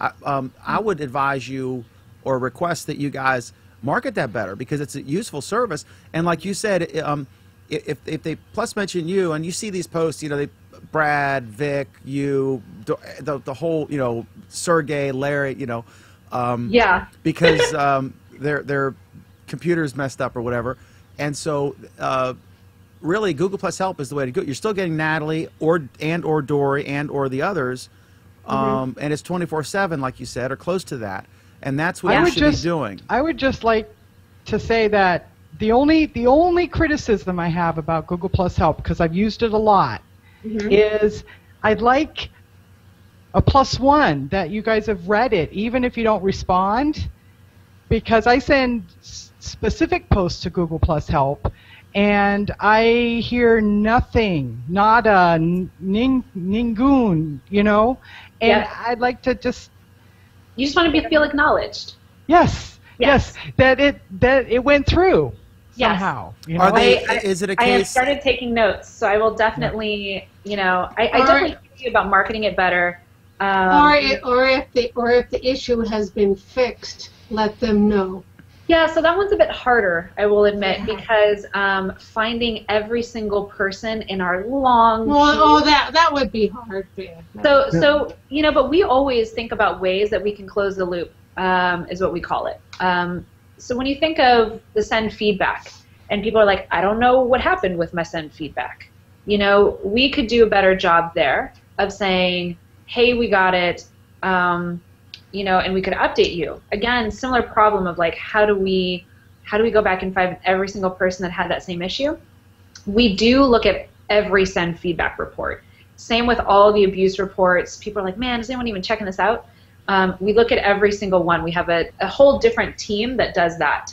Um, the Google Plus help page, uh, it used to be mostly me, Dory, and Sky answering it, and we actually created a whole other team to, to respond so that it could free us up to do more stuff because we, had, we were juggling so many you know awesome opportunities we built, but they became so successful that we had to pass them on to more teams. Natalie, So- can, I just, can I just jump in here and ask Yeah. you to talk a little bit about the abuse process? Oh, I, I, I will do my best. That's a hot button issue for a lot of people, so I'm sure they, they'd like a, a as good an idea of, of what goes on uh, as you can give. And we understand some of it's not going to be discussable, but people, you know, people have safety concerns. So I, I think they'd love to hear more about also, what, what goes i- on. Also, what is and what isn't abuse slash violation of the terms of service? Some people think I've seen this where uh, someone said is saying mean things about me and um, not to. I mean, I, I, you know, like I've blocked this person, but they're saying mean things to me in comments on other posts. That may not be a violation of the terms of service. That's First Amendment right. They're, you, you have a right to be a jerk. Um, they may not be violating the law or the terms of service. what, what Well- is and what Dan, isn't? Dan, Dan, before she moves on from the Google Plus help page, though, I had one more quick question about that. Sure, There's a please. Hangout posted on there right now that I guess was posted yesterday. Mhm. Um, that it says seven people are hanging out right now. Mhm. Now, Mhm. is that a Hangout that's been going on since yesterday? Definitely not. It's a known issue. Uh, Dory hosts Hangout out uh, office hours every Thursday, and for some reason, the Hangout just doesn't want to end. But that does not mean that she is still in there. Um, so that is a known issue that we're working on. But that Hangout is still going on, so if somebody clicked join Hangout, they could go in and join it. Yeah, it's that. Yeah, we're we're working on that. It Oh, would okay. it would say nobody's here right now, uh, but yeah, that's an I, issue. I, will Well, it just says say seven that, people are hanging out. I just say I miss seeing who is hanging out stream. I think yeah, I think a lot of people really miss that too. Um, I, I get that question rather frequently. Is you know I really miss being able to kind of like surf around to all the the public hangouts, right? And so it's it's really interesting how nostalgic we get about those things. And I think that there are a couple workarounds that you can use search to try and find them all. Um, you know, I think for me, even um, I like doing Hangouts on Air. Uh, I feel like Hangouts on Air are a bit more challenging in the sense that you have to curate them. You know, I think Dan did a great job curating all of you and setting this up, and they they end up kind of bringing out a different style of voice. Um, Curating is that another word for herding cats? no, no, no, no. Um, you know, I, th- I think Hangouts on Air are really incredible, and I think more people, uh, you know, to Dan's credit, need to, um, you know, or could find more skills to take on a show. I think a lot of people want to be really great at Hangouts on Air, but they've never really presented before. They haven't really learned to communicate their voice accurately. And so I would love to see more Hangout on Air shows and more skills based work to help train people to be great hosts. Um, See, Uh, that's what I'm doing, Natalie. I- I- am awesome. going to be training. Pe- I'm training people how to use Hangouts. I think it's fantastic, Sheila. Uh, you're, you're, you're, Sheila. She's doing her own shows. I think that's fantastic. Um, More women HOA shows. I'm right there. absolutely, Monday nights- absolutely. Monday nights at 10 p.m. That's what we do. We help people get shows started. That's all I we love do. it. yeah, we'll, we'll have to get you sometime uh, on Craig's Hangout 10 show, wh- which is specifically advising people on, on Hangouts uh, on air. Awesome. A, a, a quick follow up on what you do. just said, and then, then we'll go to the abuse question. Um, Natalie, um, are you guys working uh, to because I've heard a lot of people complaining on Google Plus about discovery of uh, I guess they're video chats now or parties or I, I forget what, what what what is your I don't know what your name of the week is um, for this, but th- those those great what we used to call the non HOA hangouts, and that's how all all of us met. A lot of us met, you know, and it I would like to just be able to say like I wonder if anyone's hanging out and I could join if I'm bored and you know I want to be entertained and make new friends that sort of thing. I used to be able to host a public hangout, and um, it would immediately fill up, and uh, I'd meet all kinds of interesting people. I mean, one time I had some guy. It was during the Libyan crisis, and I had a guy in Libya and I had a guy in Saudi Arabia, and they were arguing. And it was really interesting to listen. I mean, they were very polite and you know, but arguing, um, debating, I guess. And and now that's harder. Are, are you guys working to improve discovery of uh, the, the video call hangouts so that people can meet new people and and hang out with their friends? Yeah, unfortunately, I can't speak to that of what we may or may not launch. Uh, I know that Dory hears it a lot, and I think especially from those of us that were here before the, the last redesign, um, you know, it was a different style of how we were approaching making connections on Google Plus. And I hear a lot that Google Plus is for meeting uh, people that share the same interests, people that you didn't necessarily know before. I hear that a lot, and that's a really powerful story for a lot of people on Google Plus. So I think that that feature supports that culture and how we were connecting. And so, you know, I will definitely reiterate it to Dory that that is a big piece of feedback because I hear that one too, and I've and I've said it. So it's always good to you know keep plus No. one. Hang, hangouts are great, but it's just when you have to search for who's online, Mhm. that's not cool. Yeah, they got to work on that, especially because you're You're like, Google I need and this to be as easy as possible. Yeah, Google. right. If nothing else, Google does search well. So, but yeah, um, Uh-huh. I've always said I've always described them. Uh, you know, yeah, uh, Twitter's where I get my news. Facebook is where my mom tells me what time to show up for Thanksgiving dinner, and Google Plus is where I meet new and interesting, cool people. Uh, and and if that isn't working, then that's a problem. But anyway, let's go to Allen's uh, uh, earlier question about uh, abuse and uh, whatever you want to say on that. And I'm really curious, and Allen can quantify because I've, I've kind of forgotten his question. You may have as well, but um, uh, I am curious what exactly is abuse. You know, because I hear people saying, I've seen posts. Someone is saying mean. To paraphrase, someone is saying mean things about me on the internet on Google Plus, and I want them. I want the post Yeah, deleted or so- something, and that's probably not a violation of the terms of service any more than if if I call you up on on your cell phone, and I say Allen's a real jerk. You know what I mean? It's not Sprint or the telco's responsibility to shut my phone down. Um, so go ahead. Yeah, yeah. So, so um, so I will say that it's hard for me to give. It might be hard for me to give details about what isn't is not abuse, and, and I'll tell you why. And I'll tell you why I won't do it. It's because when you start to define all the things that one can't do, it means that people will do all of those things up to the point until they will get kicked off, right? They will they will push the boundaries, they will push the limits, and do it all the way and you know right until like you know they basically know the boundaries and breaking points and so for us you know i will say that we don't outline every single type of abuse or harassment or we say you know in our terms of service you know when you review it you know we have guidelines on bullying we have guidelines on and i say terms of service and guidelines they're different documents but the the guidelines for harassment, guidelines for bullying, um, all those types of things, they're usually one to two sentences and they're a little bit vague. Um, and it's because we don't want to tell bullies how to be the best bullies before they get punished. And so our team on the Google Plus side, we have you know an understanding of, of what constitutes um, harassment and bullying and abuse, and we get the chance to when anyone feels uncomfortable they can report abuse, they can report nudity or you know all the different forms. And then we can go and look through our checks and balances and our books and say, actually, yes, this is you know truly harassment in the terms of how it's legally defined by you know the state, by the nation, by federal government, you know, by internet laws, like all these things that you don't necessarily all need to always explain.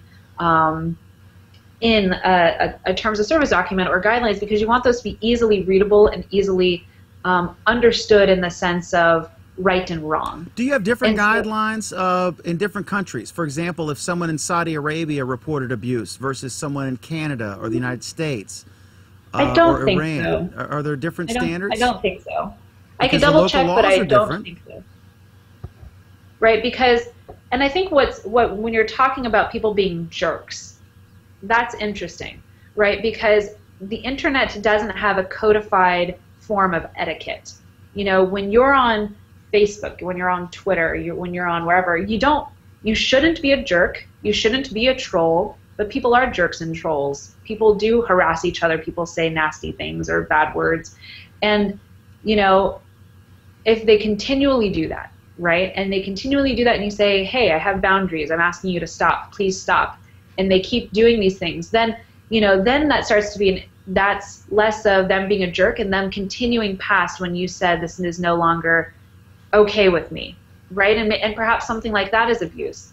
Um, so for me, when people say this person is bullying me, when it's someone who just disagreed with them in a, in a political post, I'm like, well, they, you guys are just disagreeing, and you want me to take this guy out because he's just kind of disagreeing with you. That doesn't really work um, you know, it needs to be something that is actually against our terms of service or against our guidelines.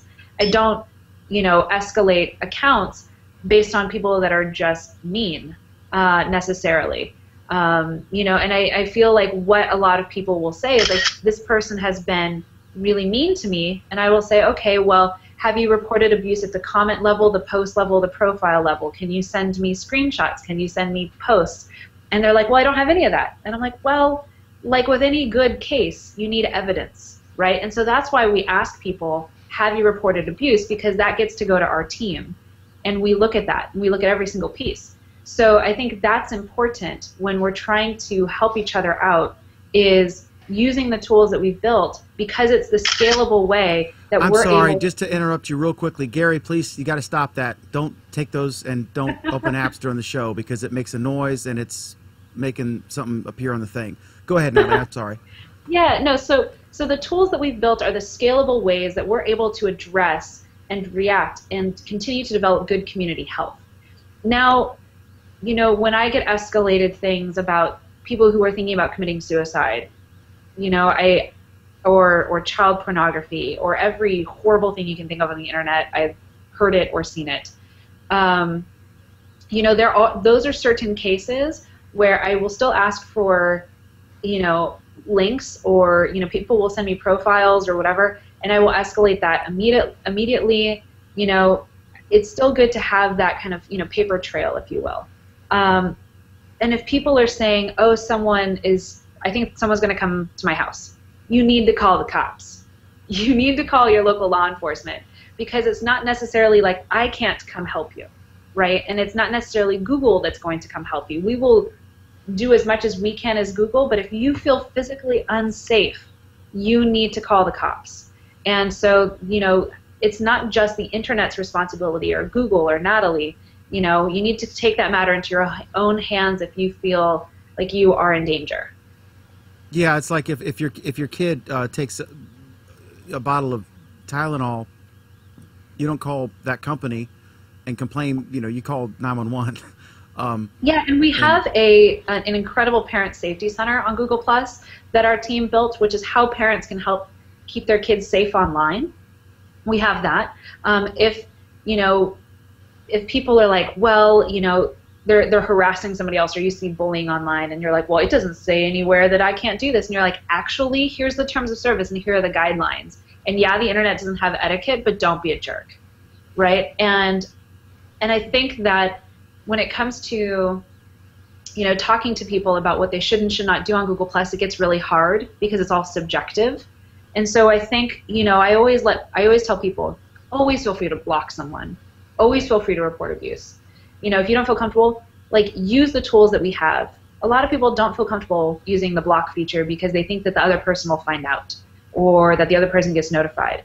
And it's really about creating the safe space that you need in order to experience the web, Google Plus, as you want. you can I've find blocked out. lo- You, So- you can I've find blocked out. lots I've of people. blocked. Um, You know, I have a block list, so I don't I don't try to be friends with everyone. There are some people that are just not friendly people. I recommend so you block Natalie, let Craig me- Shipp as soon as possible because he's he's kind of a rabble rouser and he, he uses a lot of Apple products. Uh, uh, Ah. uh, so so I'm gonna go to Allen for follow up and then we'll go back to Jason and and, and folks. Um, uh, please, uh, you can still submit questions. Uh, please comment on YouTube or on Google Plus. We- We're seeing all of them, and um, you can still ask questions for for uh, for Natalie Villalobos, right? Yes, I have a lot of tea, so I'll be here a while. Unless she's in the ladies' room because she's drinking all this tea.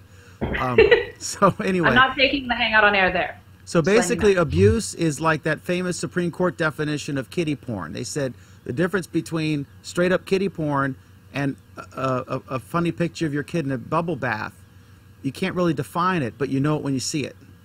Um, so I guess it's like experience if they and guidelines, I, and I would say, I would say even even even be proactive about it, right? If you see something and you're like, man, this does not seem right, report abuse. Like let our team make the judgment call and and like let us know. Let Google Plus help know. Report abuse, block the person, you know, and and that and we'll handle it, right? And it's and it's don't try and sort it out yourself. Like, is this wrong or is this right? let us figure it out. Like totally, we're here to like de-stress your experience with these tools, so don't get stressed out. Or like, get Craig That's what we're Shipp. here for. Craig Shipp has like 50 weapons within Dan. three feet of him, so you could just uh, contract Dan, Craig to go over since- there and just beat the living. Dan, you know. since Natalie Gotta go, guys. since I Natalie you, Thank you, Sheila. Good to see you. I'm training someone. All right, good You for go, you. girl. Since. Natalie Bye bye. Natalie won't tell the trolls how far they can go without getting blocked. I'll tell them. Just watch the previous Google Plus shows, watch all of them, and see how far I push it each week. That's how far you can go. No further than that.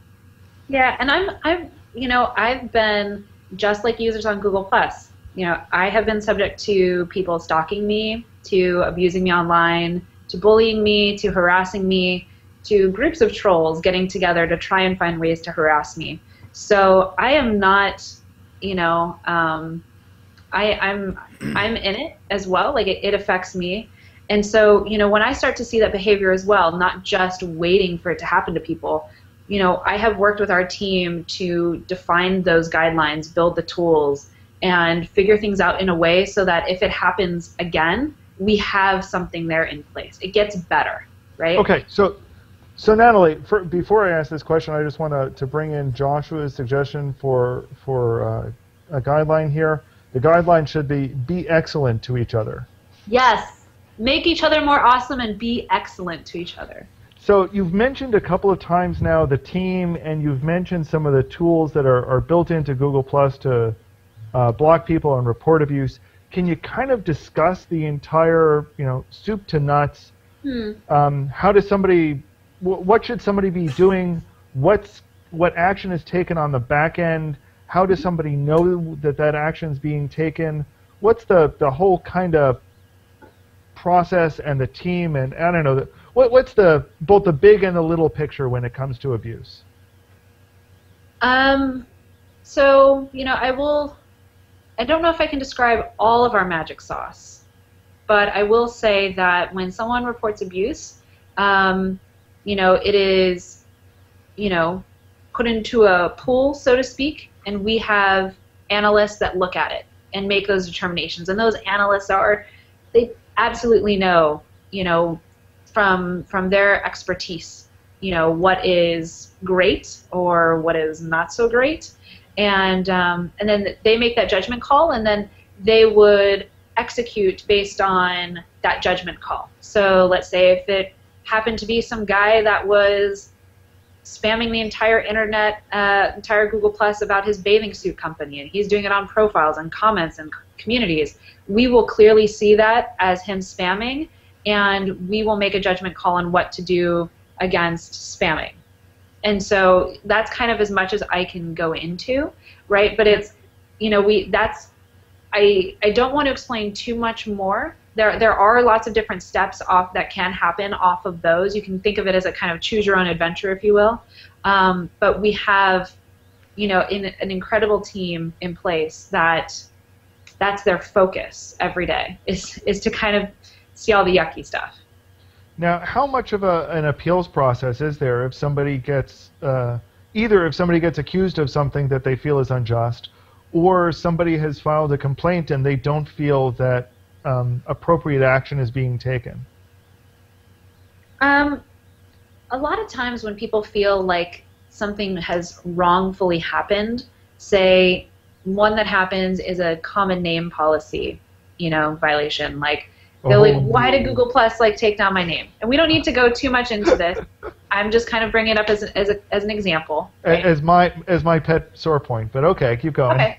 So, you know, just as a very simple example, you know, someone's like, you know, my true name is Natalie Wolf Village, which is what my last name means. Um, you know, but Google Plus doesn't think that. Then, and I've appealed and blah blah blah. Well, then a lot of times they will reach out to the Google Plus help page, or they'll reach out to me and they'll be like, I went through the appeals process. I promise that I'm me, right? This happened actually to uh, to Bobby Seale, um, S E A L E. He was the uh, one of the founding members of the Black Panther Party, and him and all the people that were in a Black Panther community reached out to me and said, "Hey, this is really Bobby Seale, and hey, this is, you know, I've given supportive evidence. I am Bobby Seale." And I said, "Okay."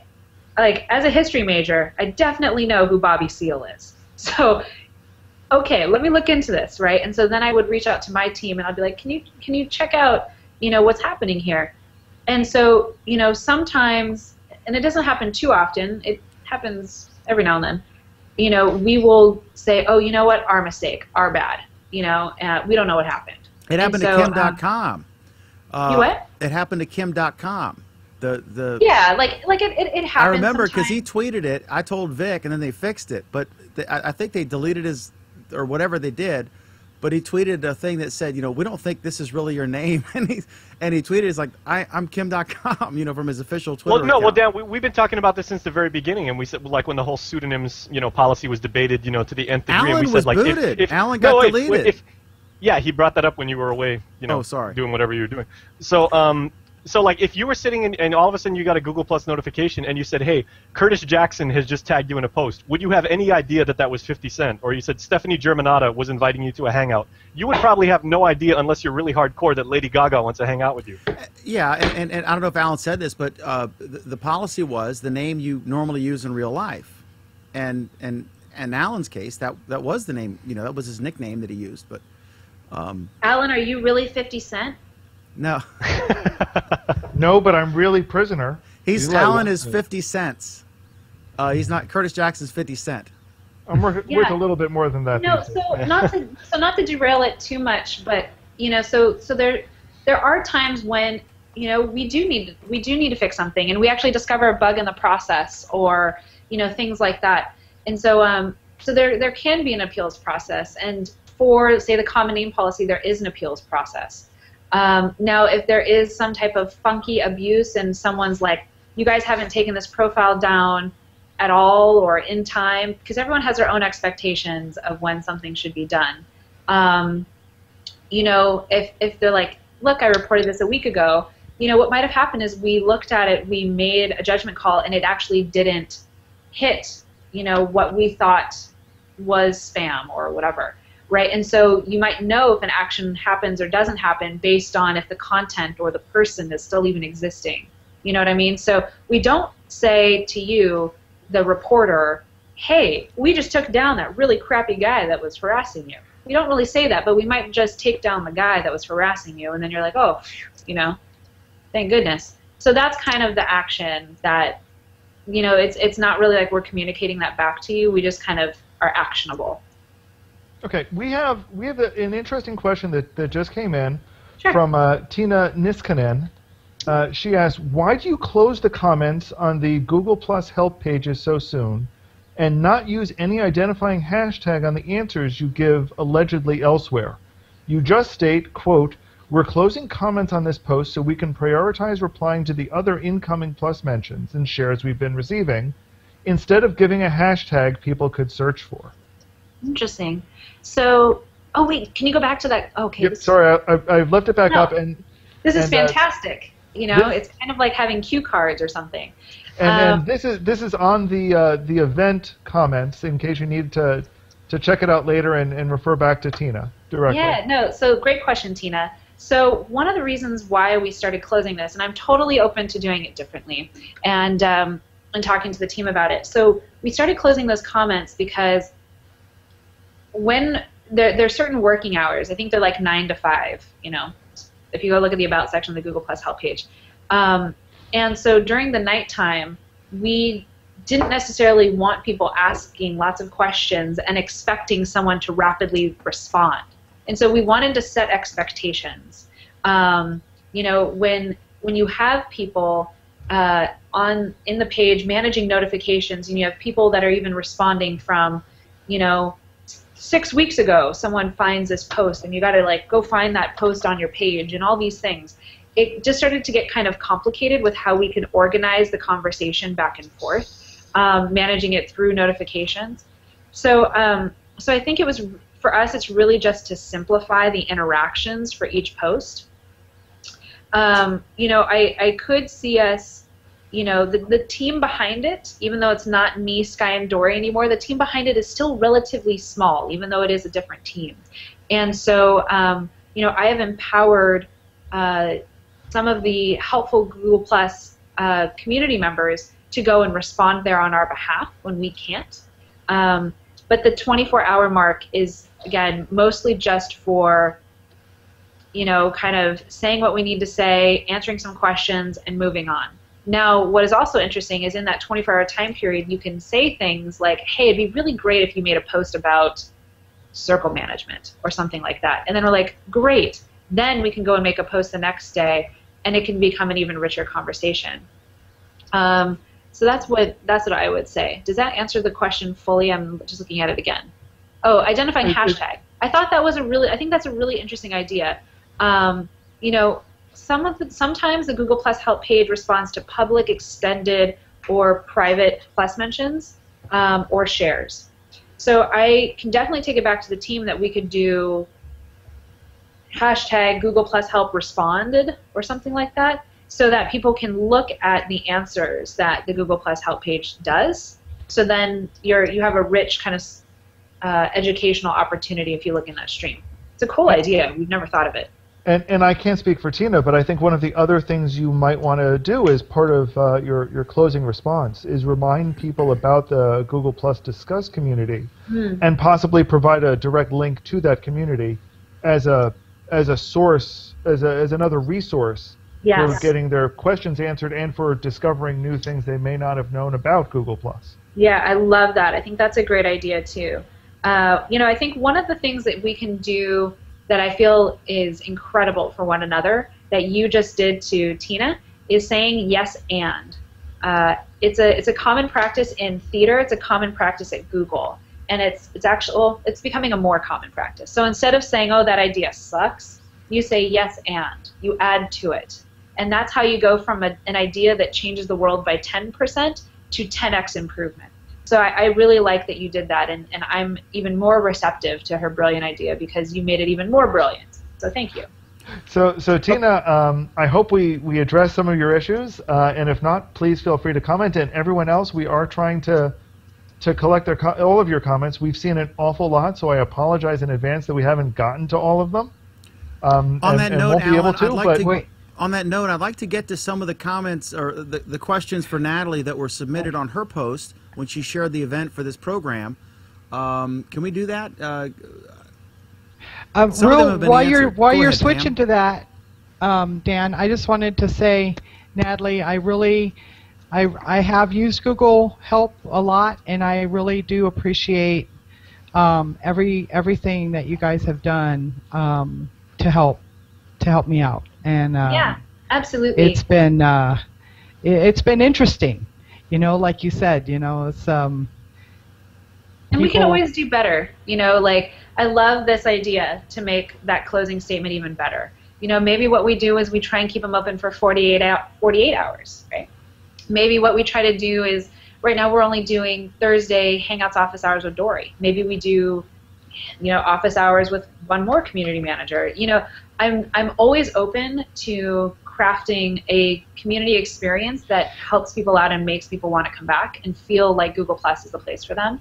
So I'm always open to those ideas, whether people want to plus mention me or do a limited share or do a YouTube video. Like I don't know, you can get creative with it. Uh, you know, I, I'm these resources I'm building because of the insights that I'm hearing. And um, you know, as the community manager team for Google Plus expands, we're going to have you know even more fresh ideas, more people coming in um, that want to listen to to all these great insights. So definitely use Google Plus Help. Mention them, and uh, they'll respond, and, and they'll start plus oneing you now, uh, because of Pam, because Pam will will troll you if you don't. I'm just kidding. But you um, better No believe it. This is a troll-free zone, guys. Troll-free zone. No, no, no, no, no, no. Oh yeah, I'm not Now- going to troll Natalie. I'm going to troll Craig or Dan. So Yeah. I, I agree with. I mean, there are limited. Re, I, I, I'm cool with it. There are limited resources you have. It's a free service, right? I don't expect you to fly out to Virginia, you know, to help me with my Google Plus problem. But at the same time, um, uh, or be, you want to be able to respond to the new stuff as, as it comes in, so people aren't feeling neglected. And if you shut it down, then then you're not dealing with all of the. I mean, the follow up can go for months. I have uh, Yeah. stuff that you know. Uh, you did something recently, and I noticed I, I get a lot of activity on posts might be a year and a half old, and that Yeah. started about a month ago or something. So I, I, I can totally I, I totally get what you're saying. and- yeah, and, and I get there. that too. I'll get people that will find some really old post of mine. I don't I don't know how they do it, but I'll get a plus mention and I'll think it's some new urgent issue and I'm like 2011. I'm like real? Like how did you guys even find that post? You know, and and so I, I there's some part of me. There are I think in Google Groups we do something like this where after you know like 90 days or something the post is locked and you actually can't engage on it um, I think it, it just helps post owners manage things in a better way, um, specifically when you're dealing with high volumes.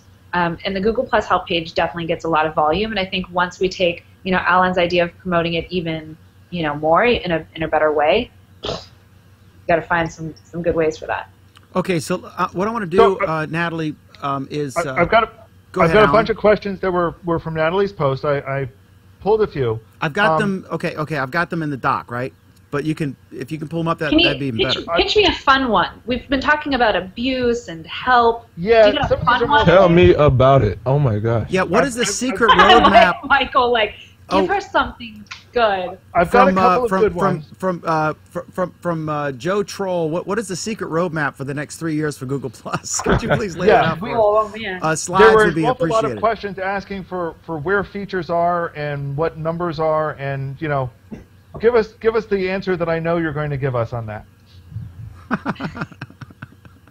Yes, and on, on, on any any you know on, on any uh, you know feature request? What what's the, the standard answer you're going Hold to Hold on. Well, maybe it's something we can all say together because I'm pretty sure we all know the response. We have no we have no numbers to release at this time. We have no announcements. No announcements numbers on. to release at this time. That's a good one. That's We- for we Nate cannot Swanner who predicted future that features. answer. Nate Swanner, our, our we good can't friend. comment on and- speculation yeah. and rumors.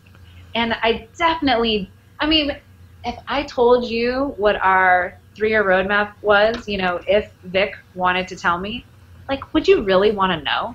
I mean, because it's kind of cool. You got to admit, when me? you wake up and Google Plus is totally different and crazy well, we know it's gonna be different. Huh? We know it's gonna be different. I mean, we like switching it up. We like making it more beautiful. We like making it more easy. And and I think that you know, our team is only going to get more inventive over time, and we like surprising you. and you're very Um, good at it. So, so the follow up, so the follow up for that one is we, we do have a question that was like that, but but before that question, uh, Louise Roca, yeah, uh, asked, how often do Googlers go roller skating? Ah, name yeah, names? I saw that one. So there is a, a roller skating rink in Redwood City, which isn't too far. I will tell you that it smells just like the roller skating rink that you used to hang out in when you were a kid. Like roller skating smell, like roller skating arena smell, like don't change, right? The bathrooms don't get any better. They still they're still funky. Um, so I went roller skating for a team offsite, and um, and you know basically we work so hard that sometimes we don't get time to spend um, quality time with each other. And so when you guys see Googlers going on some wine tour or going to the beach or something like that, it's actually because we're trying to bond as a family because we're going through such incredible experiences together that can also be really stressful. You need to take some time to de-stress. You know, like I will get up at 6:30 in the morning and ride an hour and a half to work. Then I have a full work day where I'll leave work usually around 6:30. So I'll get home around 8 Now, is that in the Google Bus? yeah, Right. I do take a Google Bus. Um, and so I'll get home around eight, and at that point, I want to hang out with my boyfriend, right? And so, and I'm trying to, you know, digest from my day. But a lot of times, what happens is I get on my computer until I fall asleep. So there's not a lot of off-screen time. And so I think when when we go on these roller skating trips, it's really that work-life balance. It's getting to know each other. Um, and and so I don't think we go roller skating all that often. Um, you know, I will say that uh, I always love a good adventure. So, um, you know, I, I look forward to more roller skating. Um, What what is the most fun thing that you've done as part of a corporate outing with Google? Uh,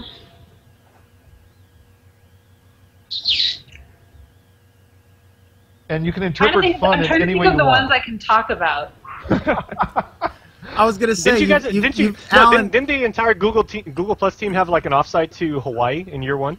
The cruise. I can't confirm nor deny that. I, I know a bunch of people on the Google Plus team all like were quiet for a few days and like all came back with. Jason, you got it. you got to they don't get be. that pan. Yeah. Probably You guys got to be impressed that that uh, Allen stumped Natalie, who gets 300,000 questions a day, with a question. That's pretty impressive. Yeah, no, you know, I I'm trying to think of like the most fun. Um, I've had a lot of fun as a community manager at Google. Um, you know, most fun group thing. I mean, roller skating was pretty awesome, especially because you think that people can do tricks through your legs and they really can't, and you just fall. Um, I, I really like actually the moments when um, Googlers become such close family of mine that we go do things outside of work with each other. You know, I used to, you know, very, very candidly, very honestly, I used to keep work friends very separate from like real life friends, and they've started to blend, right? So um, my friend Dave Cohen and his beautiful wife Erin and their baby Leah, excuse me, um, you know, I was I went to their wedding and I felt very privileged because Dave and I only knew each other through work, and now we've gone camping um, at Pinnacles uh, National Park together. We've done we've had more adventures with one another, and I think that is where I've had a lot of the most fun. Are more of these personal memories with people that um, you know I've worked with, I've also, you know, met a fair share of celebrities, which always is kind of silly and weird, you know, because I'm not sure what surprises me yet. I'm so excited to one day meet Obama. Like, so excited. That would probably freak me out. But other than that, um, you know, Yeah, you were actually in studio for the will.i.am hangout, right? I was. Yeah, I remember that. Yeah, uh, Vic and I and Lauren Groves and Matt Waddell all flew down to Los Angeles together, and we hosted the first Hangout on Air with will.i.am, and that was a trip. That was that was pretty wild. Like I'm, I'm not gonna lie. Uh, you know, hanging out with will.i.am, he's a super cool dude, super laid back and easygoing. Invited all of his friends into the studio, and we're there, and I kind of can't believe it because I'm like, did I just fly in less than 12 hours notice? down to LA and back, you know, for a couple of days just to hang out with will.i.am and make sure this goes smoothly. And um, and I did, and I got to help out some of his musician friends get profiles on Google Plus as I'm sitting there in the studio with him. You know, so like that was a great, great thing that happened, uh, and I sometimes still can't believe it. Okay, so we have got a couple slightly more serious questions, but still oh, both of them phrased. Okay. only slightly. But no, both of totally I, I. I like how both of them are phrased, though, at least. All right. Uh, so this one from from Ralph: Are feedbacks read anonymously, or do you get to hear? And here's one from Keith, and a collective groan will go up from the table, or or from oh, the bullpen. Oh, should I answer this honestly? Hmm. Okay. Uh, thank you so much for uh, that question, Ralph. So actually, every time uh, someone submits send feedback, we do, you know, if it's, uh, you know, Robbie or Bobby or Susan or whatever, we do know what profile sent that sent feedback. So, um, and and what's great is that with that we get to you get to tell us a little bit about the browser information. You get to tell us a little bit about uh, this. You know, we can usually tell what um, you know OS you're on when you tell us, and we get uh, some good information from that report. So um, it's funny. We don't really go through send feedback and all groan because somebody sent it in for the hundredth time or anything like that. Um, you know, we, we mostly we don't really look at it per person. Um, I think per person could be interesting, but we look at it per issue, right? So we'll can, we can see if everyone's having an issue with this particular profile picture issue. We can be like, oh, we got like 40 profile picture issues. Oh, this this is like probably a pretty hot issue. So let's go and look at that, right? And then we have all that expanding evidence that I was telling you about, um, which is which is totally fine. Now it's funny when when people will plus mention me, I, I I definitely have my regulars, right? Well, they will give me feedback over and over and over again, and they will plus mention me to every post for a very long time, and I'm like, oh my god, this is like total. If you can imagine, I'm totally filling up my inbox, right? And so the thing about being a community manager is even when you receive those things, you gotta finesse it. You know, you gotta be graceful. And I think that's a really important part of this role is being the empathetic, acknowledging, listening, non-reactive, very pleasantly responsive person, and that can be not always the easiest task. Um, but I think it's vital to not only keeping a great face for you as the community manager, but you're holding the community in your hands. And if you're this violent, frustrated, reactive, stuck, doing that kind of person, you don't really get to develop trust and love and compassion with your community. And I think that's really important. So um, even when people are doing that to me, I might groan a little, but I'm still going to be really nice because we all we all just want to be heard. You know, we all just want to be understood. So even if it's something really ridiculous, my goal is to help de-escalate and and really hear you and communicate that effectively without any bias. So to- I have a quick question, Natalie. A really Sure. quick question. Yeah. Okay.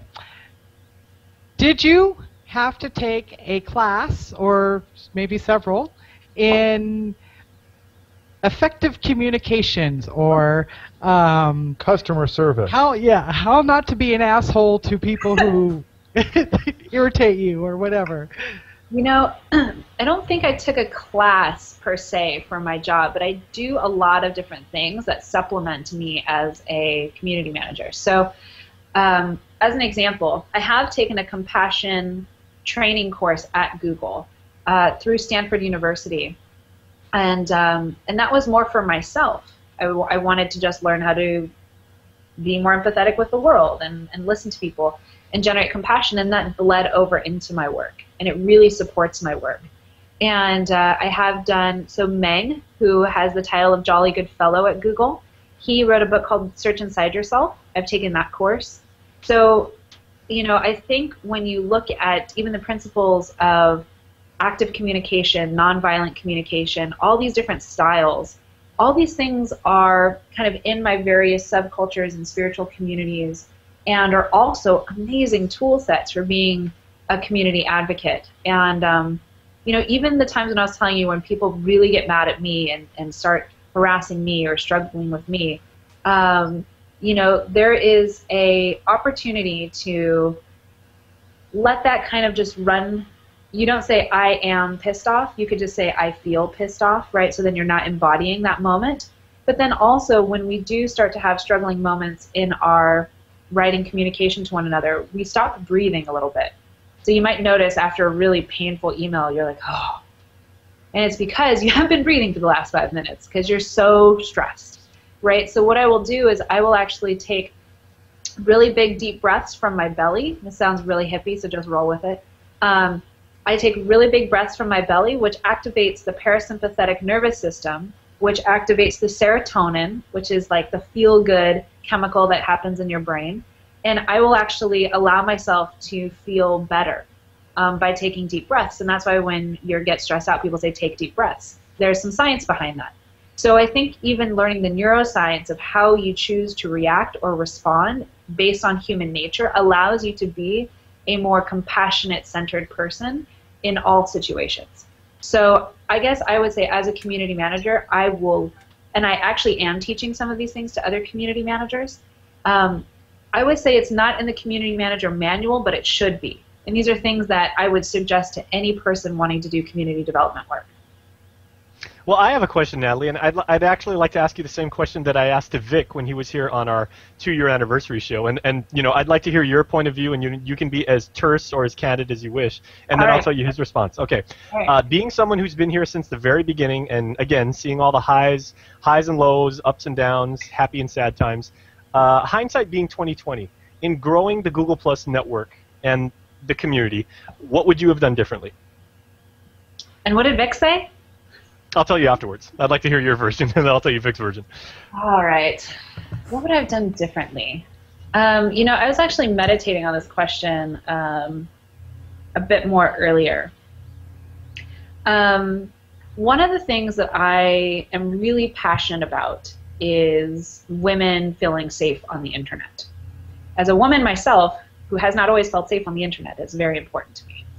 Um, so at the beginning of Google Plus, um, you know, and it, and it still happens this way, right?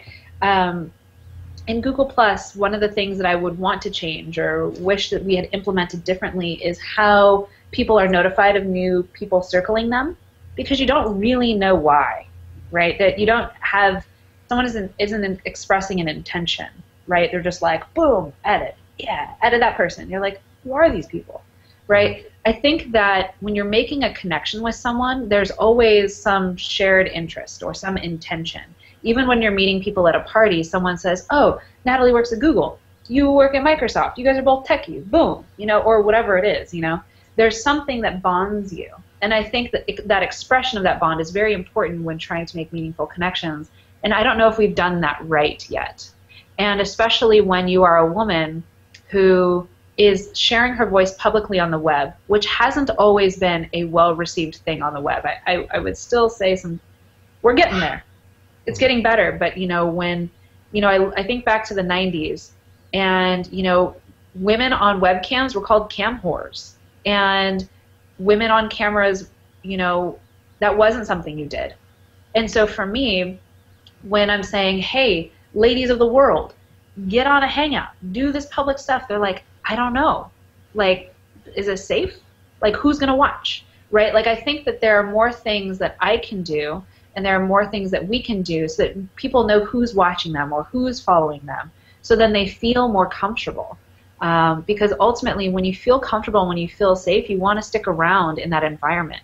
And I want to offer that kind of safe environment to everyone, and especially to demographics that don't always feel comfortable being there themselves online.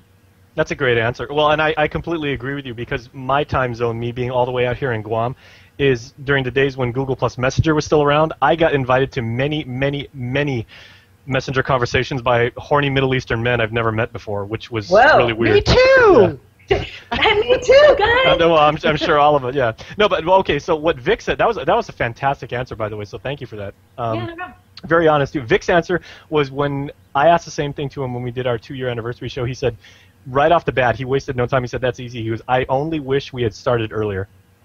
Ah, yeah. And that, that was it. It was short. It was like he, go, he goes, I just wish we had. He goes, we've been thinking about this a really long time. He goes, I wish we would have jumped on it earlier. And that's the that's the only thing. He goes, absolutely no regrets. But Now, Natalie, on that on that topic, does that mean that there's some kind of a timeline here? Does that mean that you all are kind of in a hurry to do things? I mean, if if if Vic wishes that he just started earlier, then that that means that maybe you want to do things as fast as possible. So we we move really fast um, on on the Google Plus team, and I think um, I don't think there's a timeline. We're definitely not going anywhere. You know, for for us, it still feels, and I think even for me, it still feels very much like the beginning. You know, Vic will say that, and he'll say, you know, we're just getting started. And I mean, how old is Facebook? I started using Facebook in 2006, 2007. Like they have a lot of time ahead of us. Like if we're just going to talk about other social networks, I think I joined Twitter in 2006. I don't actually know the start dates of a lot of these companies, right? And we're the new kid on the block. Like we definitely still are, you know, new kids. So I think that there's still a lot of room for us to grow and um, expand into, you know, new growth opportunities. And I, I just I don't think that it's about thinking where the end is. It's it's looking at how much more we have to do, how much more we have to go, and I think that's really exciting because the the community of Google Plus gets to chart that journey with us. And I think that when I look at other companies, you know, and I've got mad love for people over at Facebook and Twitter. I have a lot of friends at those companies. You know, we are sitting here in a hangout on air, you know, or on posts, and we're talking to all of you about where do you want to go? What do you want to see? And as a user of both Facebook and Twitter, no one ever did that for me. Right? So I think it's a far more interesting product where we get to chart that journey together as opposed to having to just fall in line with whatever happens. So um, so I think so I think that it's uncharted waters and we're just starting out at that at that journey. Kind of along those lines, Natalie, how much do you act as a, a community manager, uh, not just for Google Plus, but for Google as a whole? And how much do you represent Google Plus users to to other divisions within Google, kind of trying to say, look, here's where Google Plus will integrate nicely with, with your service? Yeah, no, I actually do a lot of. I have actually have quite a few side projects. You guys mostly see me as like Le Google Plus, which is totally true. Right on. Uh, I also have two passion projects that I work on, and I have integrated Google Plus into both of them. And I will actually have teams reach out to me, um, you know, whether it's about internet freedom or if it's about you know a new product that's about to launch. And they'll say hey how do we do this google plus? Like how do we how do we fully utilize it like you've been doing it or how the team's been doing it? Show us the ropes right? Um, and i think that's really cool uh, i think it's neat to kind of be an advisor or uh, counsel to that. I've also introduced a lot of the a lot of really interesting stories and, and people on google plus. I've introduced them to those teams to make connections for more people because as I said my job is really about making people more awesome through Google Plus. And I want to expand the community into Google and not just keep you guys just on Google Plus. You know you start on Google Plus and I want to see you grow. Um, so the two passion projects that I work on at Google one is called Women Techmakers and Women Techmakers is about helping um, raise the visibility and impact of technical women and to help more women make an impact through technology. So, um, so I've integrated Google Plus into that plan. Um, I have a, a public Google Plus community um, called Women Techmakers. This is the first time I've ever talked about it. Uh, I haven't even put it out on my profile before. Um, it's a fabulous community of 570 women. There's probably like 10 guys. and they're in there creating a supportive uh, environment for for women um, in tech. And then my second uh, passion project is that I teach 10x innovation thinking to K through 12 students through solveforx.com, which is under Google X.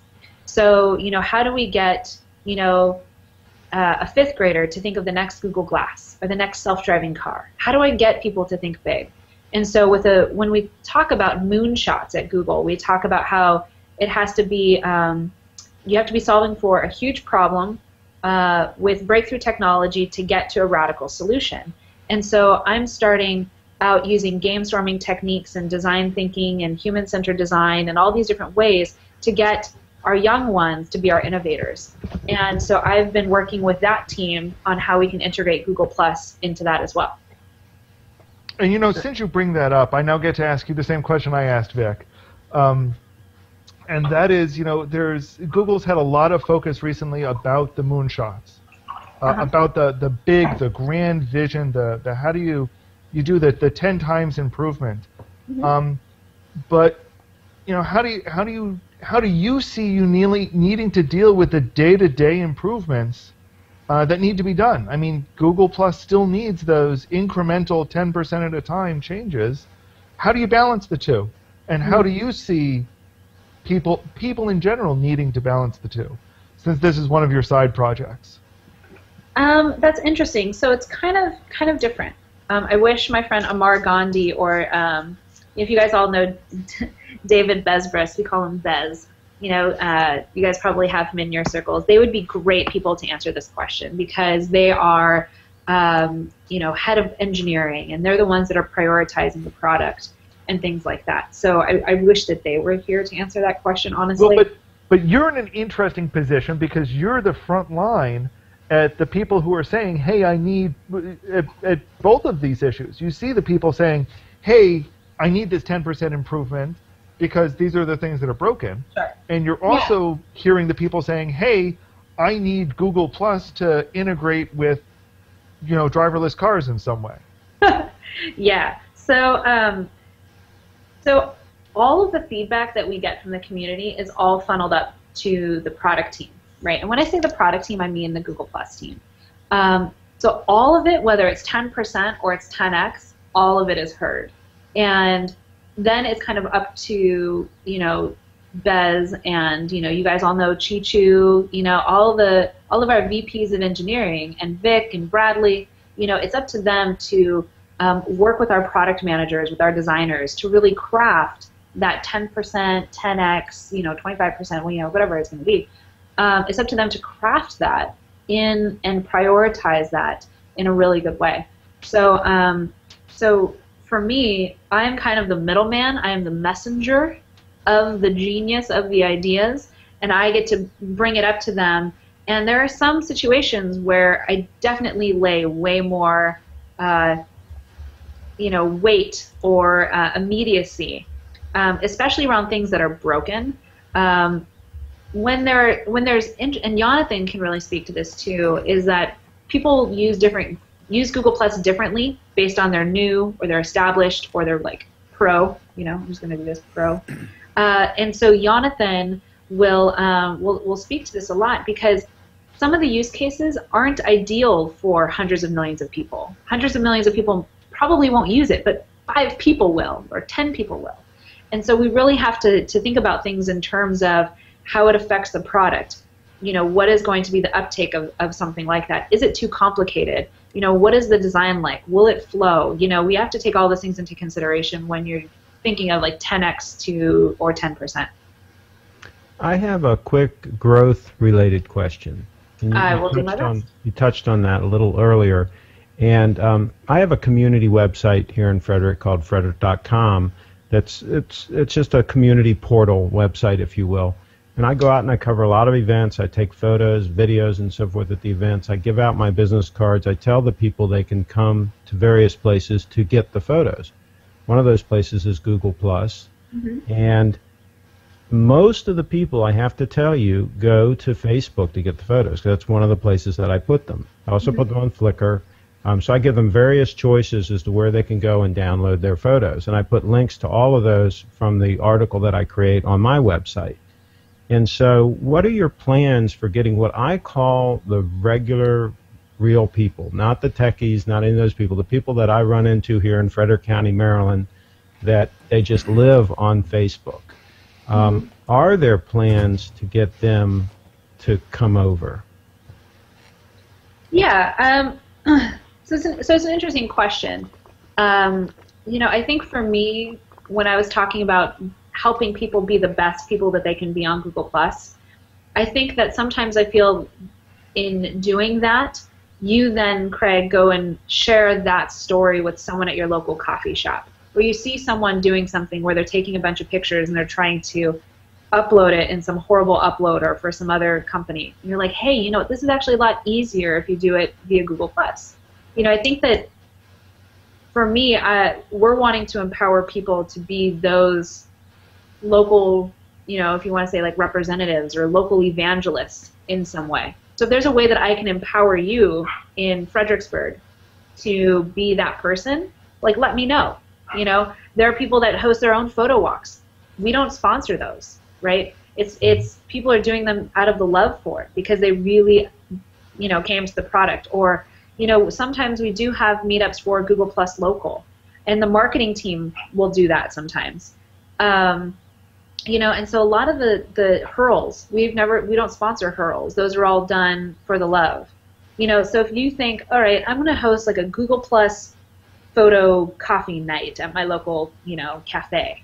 That's cool. I'll send you some stickers. I'll send you something so that you feel like you've got a little extra something in your back pocket, you know, and um, and we can do that. Like that's that might be more scalable. I think, you know, there's a, a team on the Google on the Google Plus marketing team. We do have different people who focus on different verticals. So say if you knew of a cool distillery or a cool brewery in your area, and you're like, man, this would be you guys would be amazing on Google Plus. You guys could do virtual tours of your distillery. I will hook you up with the person on the Google Plus marketing team, and I will plus mention them in and say, hey, help this brand or help this person get big on Google Plus. Help help them share their story. Let's get it as far and wide as we can. And I think you know, however we can help, we we can, but but it's it's less about let's drag someone by their pigtails from Facebook to Google Plus. I don't think we need to do that. I think people, you know, of, of the hundreds of millions of users that we have, I think that it's also up to us to go and evangelize our joy for what we love so much and depend less on the company to go out and pull users over. We don't really do that. I, I agree that, that that we should be evangelists, and I am. I bring a lot of people over, but I can also tell you that some of them don't really feel welcome when they come over. Some of them feel like there's a bunch of techies here and a bunch of early adopters that sometimes don't necessarily welcome them with open arms. I wish that were different, but I do hear that kind of feedback sometimes. Are there plans in the works for almost there being a welcome wagon uh, type of thing when people come into Google Plus, especially if they come over from Facebook? to really greet them with open arms and, and make them really feel welcome. And if they look like they might be inclined to leave, to kind of approach them and, and ask them, oh, you know, why might you leave? Like, for example, if I had a restaurant and I had customers coming in and they were, they came a couple times and then they weren't coming back or they, they weren't using it as often or whatever, I might want to wonder why and, and try to retain them any plans along those lines? So, you know, I, I don't necessarily think that everyone should go out and, and and start a new account, but I think it'd be really interesting exercise for you guys to go and create a new Google Plus account and see what it's like. Because probably since you've joined, we've done a lot to create that very welcoming experience. Um, and and you know, like I haven't created my Google Plus account since you know June 28th, 2011.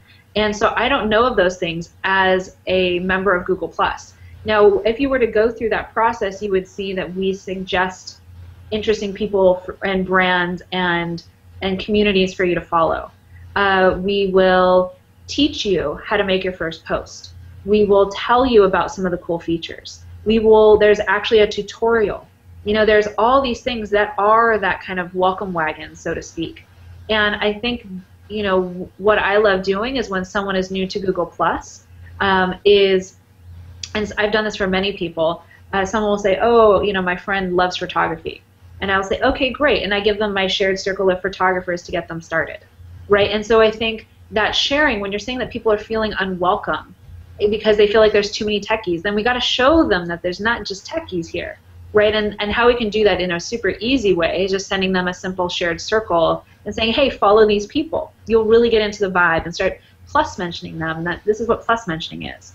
And so I think that the more that um, you know we can also add a little bit of us into that welcoming process, it's great. But Google Plus does have, and we will continue to improve on that welcoming experience. Taking that a step further, I um, you know, I used to get started link to do it over again. If nothing for just see who's on the suggested user list. But um, Yeah. taking that a step further, um, let's see his name. Jeffrey Hellman mentioned earlier um, about having a suggestion for new users joining Google Plus. Why not have a part of initial tour, like a walkthrough that actually connects? And what you, what you mentioned about starting a post, but taking an even a further step forward, it's like, why not have something interactive to show them all the different elements of Google Plus? Like maybe pop them in a hangout with a video with all the awesome YouTube videos that there's out there, like of using the different parts of Google Plus, or having them do it interactively, where they actually do it hands-on and doing it for its group. I mean, there's many ways, but I mean, I think something interactive to show them all the different things about Google Plus for the first time be an awesome way to And- get them and- started. And I, I, and I Natalie- liked I liked his idea. Oh, sorry, I liked his idea of um, why don't we put everyone in a hangout? I don't know Starting what. I don't. Yeah, I don't know what I would have done if I joined Google Plus and then I just fell into a hangout with all of you guys. I'd be like, uh, well, not, not a hangout, not There's a hangout with lot us, of people like that don't like to be on camera. But yeah, but but I mean, I think it's an interesting idea, right? Like, what I think the essence of what he's saying, and, and I could be wrong, but is is how do we get them to have that magical, intimate, face-to-face experience that really has created these deeper bonds, Yep. right? And I think like the shared circle could be like the very basic to you know a week later maybe uh, you know the Google Plus team or the Google Plus help team says, hey, do you want to do you want to learn what a hangout is by joining a hangout with a member of the Google Plus staff? You know, a- like absolutely, That would be A- awesome. Absolutely, and or volunteers. I mean, if you had, Right. you talk about evangelists. If you had like a, a white list of of welcoming party individuals, right? That that maintained hangouts all the time, round the clock. There was always a hangout available, and if a new person is coming in, they can choose to pop into that hangout and be welcomed and have any of their questions answered that they might have. My God, I, I, I'm sure you could get volunteers to to man a hangout like that around Yeah. the clock. Yeah, and I and I and I think um, I think that could be really interesting, and and I want to share that because you know my team has been thinking a lot about that of you know how do we we, we're always looking how do you make people feel more welcome and inclusive into a really big community that they may or may not have an understanding about yet. And so I think um, I think this is a cool idea. You know, if we fleshed that out some more, you know, that could be super awesome. And so I want to pitch that. And you know, in pitching that to the team, I'll be like, I heard I heard it here on this show that I got at least five volunteers that will do this. So we could what we like to do at Google is we also like to run things as pilots or projects. You know, try it with hundred people, see how that's received. Try it with 500 people, see how that's received. And you test and you iterate, right? And so, um, you know, a, a great quote from um, from someone I learned it from my boyfriend is that uh, software isn't finished; it's only shipped right? Yep. So I think for us, in that same vein, in the testing and iterating, I think it'd be cool to test this, see what happens. I, I, Monday I'd night love, at I'd 10. love to be part of that, Yeah, Natalie. Mon- actually, Monday night at 10 Eastern, I'll volunteer the 10 to 11 hour. they can come into my hangout. Awesome, Pam. I love that you just transformed into a cat. Oh. You're like all of a sudden this very adult woman voice. Here, I'll, I'll, I'll give you guys. This is kind of what you're gonna have to pardon me because my house is kind of messy. Pam, I'm uh, going to have to outdo you. We, we had this quote from from your uh, from your post earlier from somebody named Dan. Uh, did someone Oh, mention wow. cats? Oh, wow, that's Oh. a beauty. She's like looking at you guys like, what is Like, going on? oh my gosh, she's showing me off She again. doesn't look like she wants to pose for a photo, does she? Um, hold on one second. She like, is she showing me off again? Remind me of Billy Wilson. She's she's clawing. She's keeping her claws on her pillow. Dude, Billy Billy Wilson's cat is crazy, man. So this is Olivia. I like the gloves. Hold still, Yeah. Olivia. Okay, Olivia, look up, look up. Look at the Okay. camera, Olivia. One, two. I got time for that. Got it. Wow. That, look at those eyes. My Somebody goodness. screenshot that. Oh, That's we've awesome. got, a, I got several screenshots now. Yeah. So I've had Olivia. Her Olivia. eyes match your uh, blouse and your, your hoodie. Yeah, so I've had Olivia since she was about the size of my hand. Um, her, name is, her name is Olivia Mason Penguin, and uh, and she's she's awesome. So I've always you know wanted to be in the New York Times for something really cool that I've invented. Um, Olivia's actually been in the New York Times a couple times. Um, they came and wrote articles about that co-working space that I told you guys I used to live in, and uh, she happened to be there. Yeah. So she's just she'll cuddle with me. Um, for she loves she's a, a like a rag doll, so she likes to just kind of be cozied up. But I'll put her back.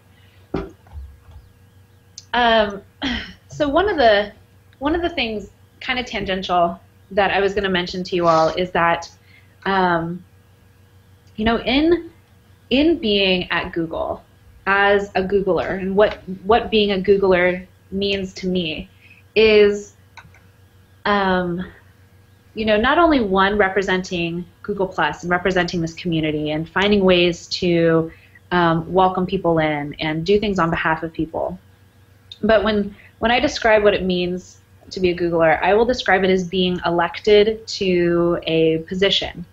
Say you have the Senate or you have some type of representative position.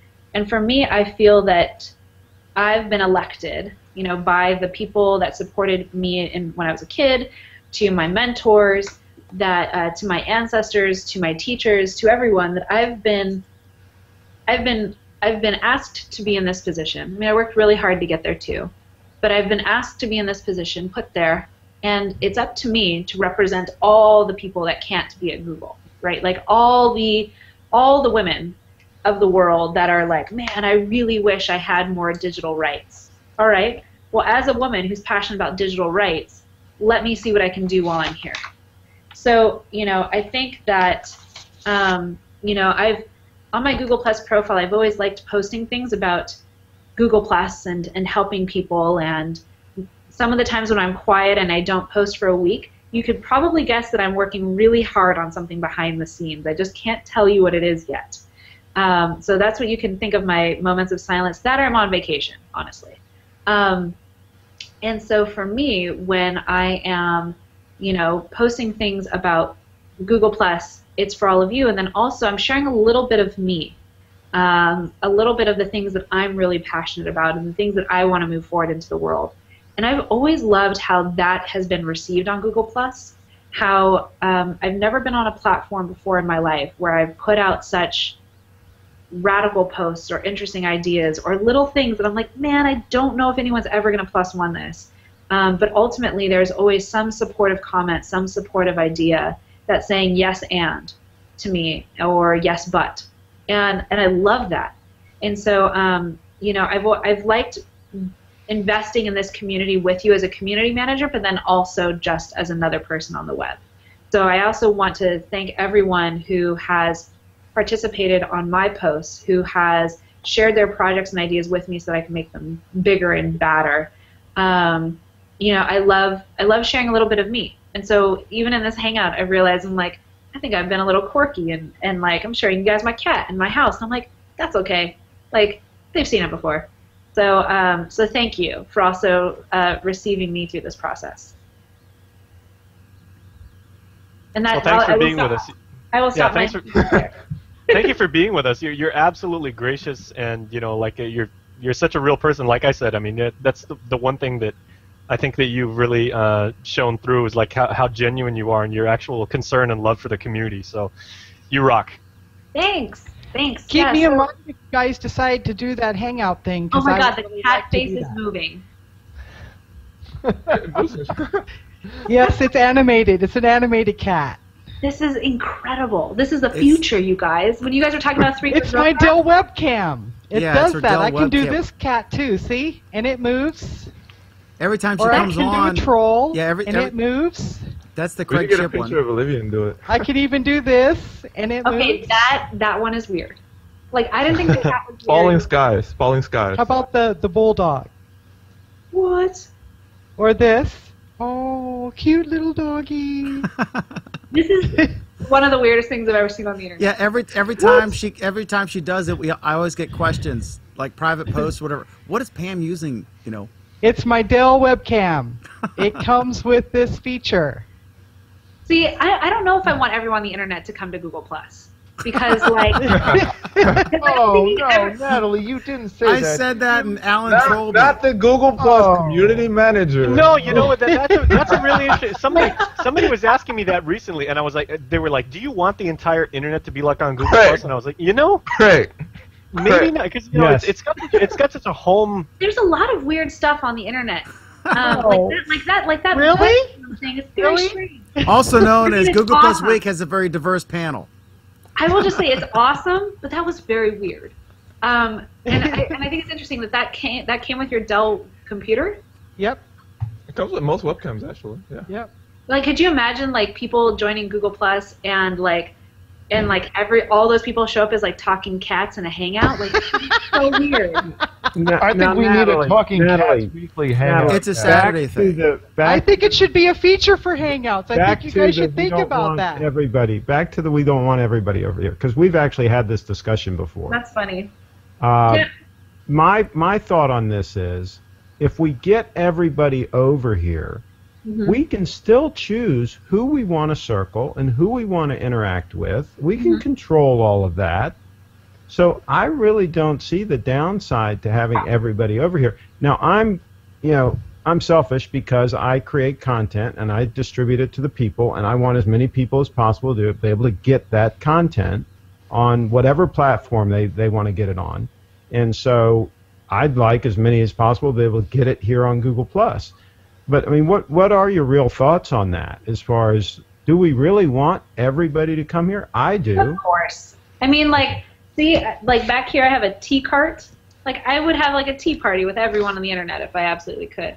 Um, I would love for everyone and their moms and their sisters and their newborns to be on Google Plus. Like, I think that would be super awesome. Um, you know, I I think that there's room for everyone on the internet. Um, I think that through that process of of growing, we just need to.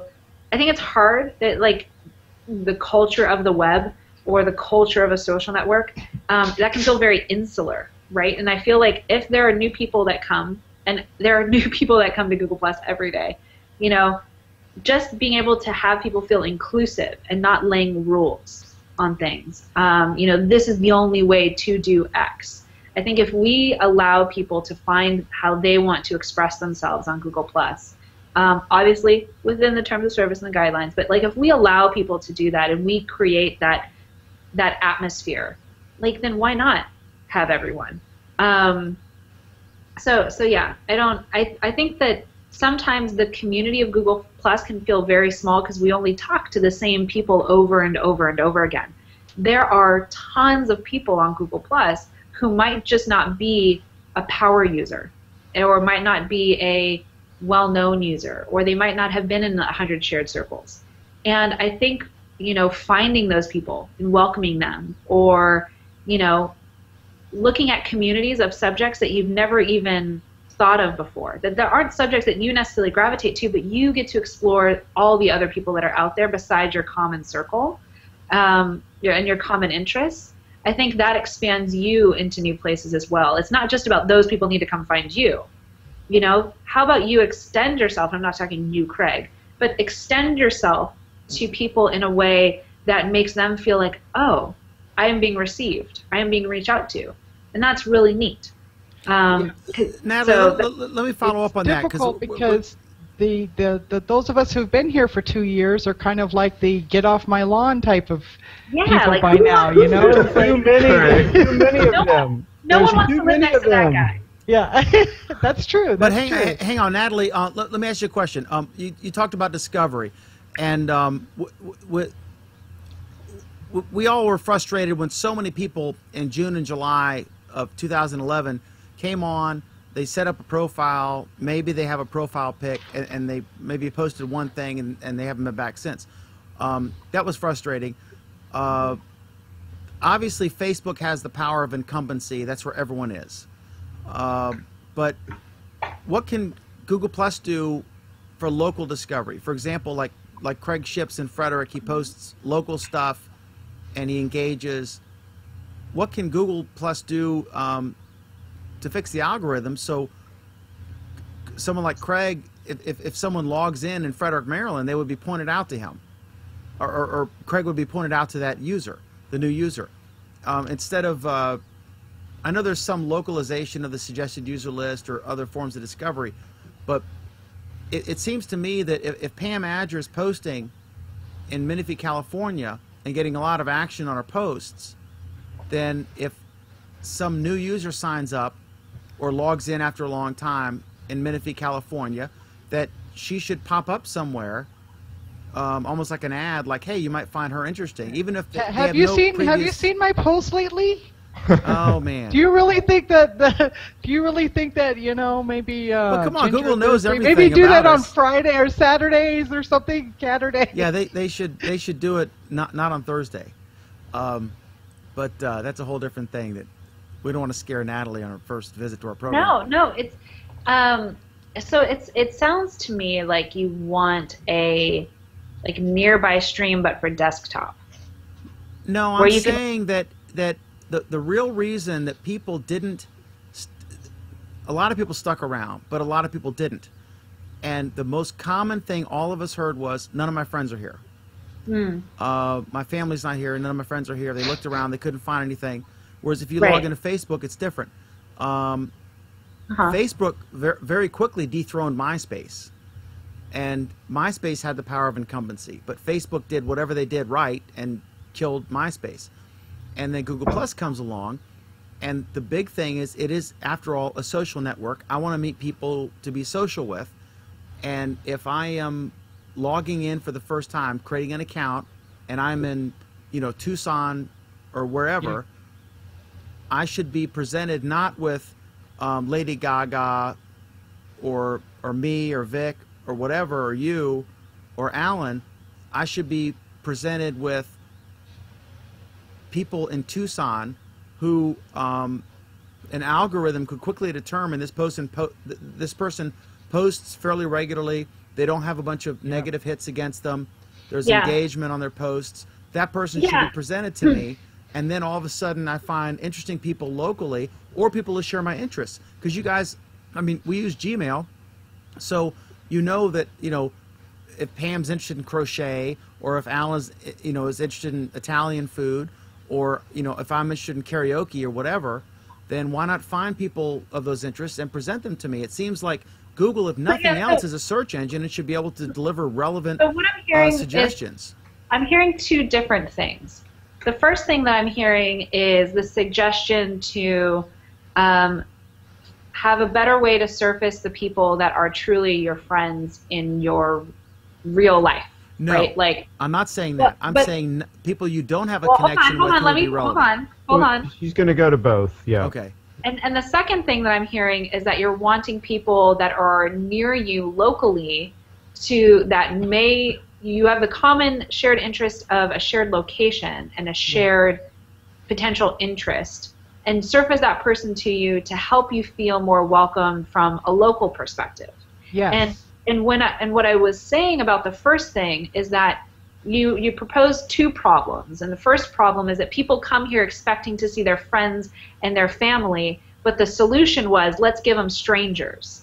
And so I think that you need to be able to solve for both of those problems with discrete solutions. So I think we have been working on that. If you go to um, when you go to your to your circles, it's like find people, and that is based on some of the social graph, right? That that you have, And so we've we've created an opportunity to really surface more of those richer personal contacts that you might know. So there's that. And and then I think your idea of the local side, which, which is why I connected it more to the nearby stream of people near you saying and doing interesting things that may or may not be of interest, um, is an opportunity to help people feel not alone, right? So, so I definitely hear your proposed solution, and I also think that that's not necessarily the solution for people that have the expressed intent to solve for where are my friends and where are my family because strangers aren't friends or family. And I think that that's something that most people, when they think, oh, Google Plus is like Facebook, well, Google Plus isn't like anything. We created it ourselves, and Google Plus, a lot for a lot of people, the story is that they have found uh, people of like-minded interests that they do find to be um, stimulating, and and some people are cool with that, and other people only want to have that you know, posting to circles, very intimate family experience, and that's cool too. So we just need to solve for both of those things, and we're always working to fine tune both of those solutions. Yeah, and Dan, you know, like for me, right? Like, I mean, the thing that gravitated me to Google Plus so much in the beginning, and I come from a place which is, you know, a very small community. We're so geographically distanced from everybody. So when I got on Google Plus, I was looking for really interesting content, and I'm kind of a Darwinist, right? So I you know, it doesn't really matter to me if the if the best possible content comes from down the street or somewhere halfway across the world. And admittedly, my friends and my family, who I've already got on Facebook, don't necessarily generate the best possible content. If I want to look up on something about robotics or on underwater basket weaving, if I find somebody on the other side of the world who I don't necessarily know already, and they've got good stuff, I'm going to circle them and I'm going to enjoy their stuff and I'm going to want to engage with them. That's, and that's what that's really true, makes Jason. me enjoy. That's absolutely true, and that's why, and and if you are that, I mean, you're a technical guy. Uh, you're an odd mix. You're hard to pigeonhole. You're you're like an athlete and a sort of a tech geek, and I'm a uh, mutt. a, a TV news anchor, right? So you're kind of So- so- this strange hybrid uh, person. Um, but uh, I just think local discovery could be better. I think if I just do I just do whatever to- I do to get rent paid. It's simply, Dan, it's simply a question of normal people versus people like us. Okay, we're not normal. I hate to break the news to you all. Well, no, well, You're Dan, Exactly. normal. That's what that's Dan, what I'm no, no, saying. wait. I mean, And like, no, those- Dan, you you, know, you, now- you said it. ve- You said it very perfectly at the beginning, and Natalie, I, I'd like your very, um, very simple assessment of Dan's um, theory because Dan said in the very early days of Google Plus, he goes, I, "I think Google Plus is maybe the Mensa of social networks," and he said that way back then because there is a certain level of sophistication and of uh, I would an say esoteric, you're- an, eso- wait, an esoteric nature to uh, to the content that people um, post there. And you know, people make you know jokes about it and they say, okay, well, Facebook is the every person's social network, and Google Plus is you know like it's very highbrow in in that regard. That I enjoy, I enjoyed, but you know, like how how would you feel about that? About Google Plus being the Mensa or you know the NPR of social systems. It's interesting. I mean, I think that with the way that we um, rolled it out as an invite only, it started with Googlers and Googlers' friends. So I think that's probably where some of that came from because I love NPR. And like, I'm not going to lie, you know, like I, and, and so for me, um, when it, when I think people felt it was highbrow, I think also it's when people were really using it as a long format platform, right? People were writing these really long posts. And, you know, companies like Medium um, have started to capitalize on that notion of not short. So we went from the extreme of like LiveJournal to uh, to Twitter, and now we're bouncing back to to long format. And Google Plus is somewhere in the middle. Um, and people at the time were really seeing us as this platform for self-expression, especially in the long long um, form format. So I think that esoteric, highbrow, uh, intellectual nature, I think, came from perhaps the seed of Google Plus and, and our friends, or Googlers and our friends and our friends of friends, and how it went out to the world. And then because maybe we had started, I don't know, I'm speculating here, maybe a lot of people had started writing those long format posts. People were like, oh, I can only participate if I really have something to say. And the world, it's hard to be a writer. It's hard to necessarily express your thoughts in a way that is like, you know, three sentences in a paragraph form, you know, wanting to have correct grammar. All of that seems really intimidating. you know, especially when you're coming from a 140 character world or from a world where your mom doesn't care what you say or how you say it, right? So I think that that might have been intimidating. Could have been.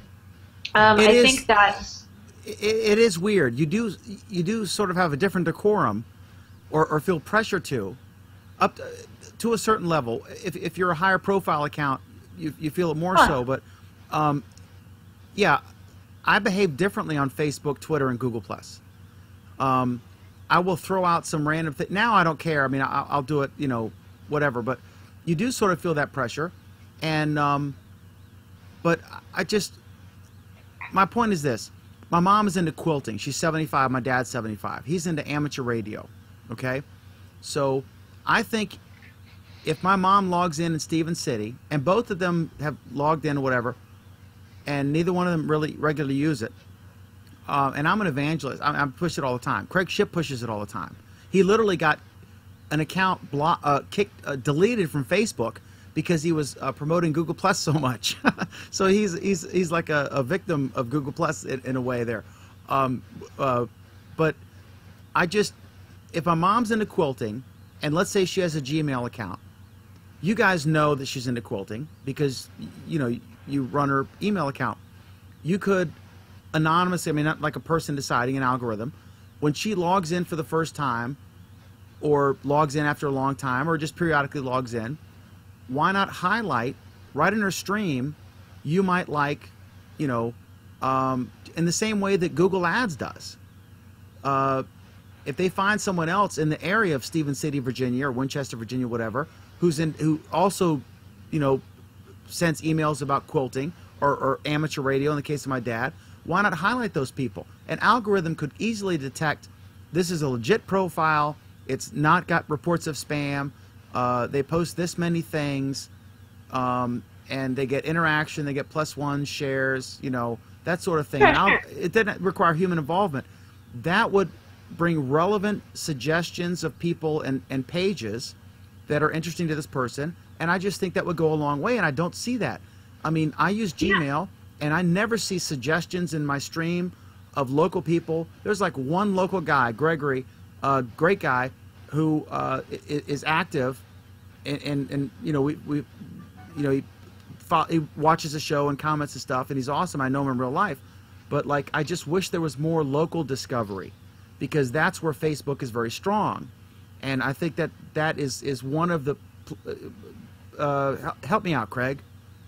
Well, no, there, there's also the bidirectional model of Facebook in between um, Google, which Google Plus, which more resembles Twitter, because you can follow someone but not necessarily have them follow you. Whereas Facebook, you have to have that that two-way stream. Like, I want to be your friend. Okay, you confirm me. If not, you know, I, pr- I'm probably never going to see your stuff. Well, you know, So- face, Facebook And started that's the beauty of out. Facebook started out hyper local, right? Harvard. That's it. You know, and they got on there. Then another school. It was very local. It was people close, and then it grew out that way. And so that was sort of like its DNA. Whereas Natalie already explained that the, the DNA of Google Plus was was different. It wasn't based on a location. It was based on Googlers and then Googlers' friends, which of course they're all over the place. Um, so maybe that's something that Google has to look at. Is you you've gotten kind of down this path where it is a bunch of techies and it is a bunch of verticals like photography and, and so on and so forth, but it doesn't have as much. It, does, it doesn't seem like to me like it has as much a focus on local. I get a ton of interaction on my content on Facebook, my local, hyper local content. I mean, just sharing the photos, uh, plus commenting, just the whole nine yards, and nothing on Google. And I will, I will say, so, so a couple things here. We're coming up on two hours, and I do want to make sure that I spend some time with my family tonight. Um, so I, I'll answer this question, and then I actually have one ending question for all of you. Um, so, you know, I, I don't want to make too broad sweeping of generalizations. I don't think I have, and so I want to just make sure that I, I touch on this that, you know, I'm not saying that Google Plus is all techies or specific verticals. I think that us as everyone sitting in here is a power user that sees only what we want to see. And I, there are a lot of people on Google Plus that we do not see, that are not techies, that are not in a particular vertical only existing from the suggested user list. we have people from all over the world, from all different walks of life, and we just might not have taken the time to see them or connect with them in Hangouts or anything like that. So, um, you know, I think that two years ago, you know, when we, you know, launched in this invite-only space, you know, like that was a seed, but we can't blame that seed that it was, you know, we only planted this one because it grew and then it, and then it germinated and then it blossomed and like all those things, all those blooms went to other places and all these new new people and communities cropped up. We're not still stuck in the space of techies and only photographers. We're, we're not stuck there. Um, and I think, you know, as a community manager, when I look to solve for particular issues, I'm not solving for only the people that we all know in terms of um, people on the suggested user list or power users. I am tuning in to all the people that aren't in that demographic those are all the people that that need the most insight or the most connection or the most help. Um, so I just want to I just want to like set set that there that that we are um, a community of all sorts of people, and I think we just need to open our eyes and the possibility that there's a lot that we don't know, right? Like like uh, like and I say we as a as a community because we're I'm still investigating what what other worlds are like there besides, you know, um, you know, power users, influencers, helpers, most vocal, right? Like what are the what are the people that don't have those voices yet? Who are those people? Where are those people at? And um, and I think that's a more interesting problem than solving for our assumptions of what the community is like. And you said you had a question bravo, for us. Bravo. Good. Well done. Um, so my question, I actually asked in a in a hangout um, last week, and um, basically, you know, we're we're all coming to Google Plus for different reasons. Like maybe we joined back in the day, June 28th. Um, maybe we came here thinking that it would be the new fresh platform for us to talk about our local business or that it was the place where we were really going to strike out on our own for the first time and share our, our views on religion or politics or whatever um, so i would like to know going down the line what is it that you would like to experience on google plus and why i'm going to start with Allen Firstenberg. and before i say also goodbye to Allen Firstenberg, um, timothy jordan sends his regards Awesome. I can't wait to see Timothy again. Um, so, what would you like to experience, and and why? What would I like to experience? Yeah, think of me as, as like a fairy godmother right now. If I had like little wings, you know, what would you like to experience? That's an interesting question, and I think part of it is it's interesting because you're not asking what feature do I want. Nope. Um, and, and you're very intentionally not asking that. You're you're asking what I want to experience, and I think part of the problem is um, I'm actually experiencing most most of what I came to Google Plus is what I'm getting. Hmm. Um, I'm getting the the connections that I wanted. I'm getting the fine-grained controls that I wanted as well. Um, these are the things. These are the reasons why I came here, and it, for the most part, it's what I get um, in a lot of ways, it, it's overwhelmed and surprised me with what I get and, and how much I get of it. Um, I think the kind of experience that I want that I want to get out of Google Plus as a whole are the honest and open interactions with people who both agree and disagree with me. All right. That's Craig All right. Shipp's department. Craig, you're next. What would you like to Okay, experience so- on Google Plus? I'll be kind of almost repeating myself, but what I would love to see, if this was a panacea, I would I would love to see the day when I can put my content on Google Plus and on Facebook, and I get ten times the interaction, uh, the engagement, and so forth. With the this is exact same content, both platforms. I get ten times the interaction on Google Plus, and I can thumb my nose even more at Facebook. I still have a Facebook account, by the way, um, and I had two. I'm down to one. Um, but I get just by far, I mean, 50 times, 100 times more interaction on my content there than I do on Google Plus. Exact same content. And I have a lot more people have circled me on Google Plus. I mean, 10,000 have circled me on Google Plus. I only have about, I think, 1,300 or 1,600 friends on Facebook. It's not a numbers thing. All right. Think you're next, Dan. Okay, um, I, I I would say, um, with regard to Craig's thing, we, we have another guy who didn't join us tonight, unfortunately, uh, Jeff Zayas, who posts a lot of um, Native American stuff.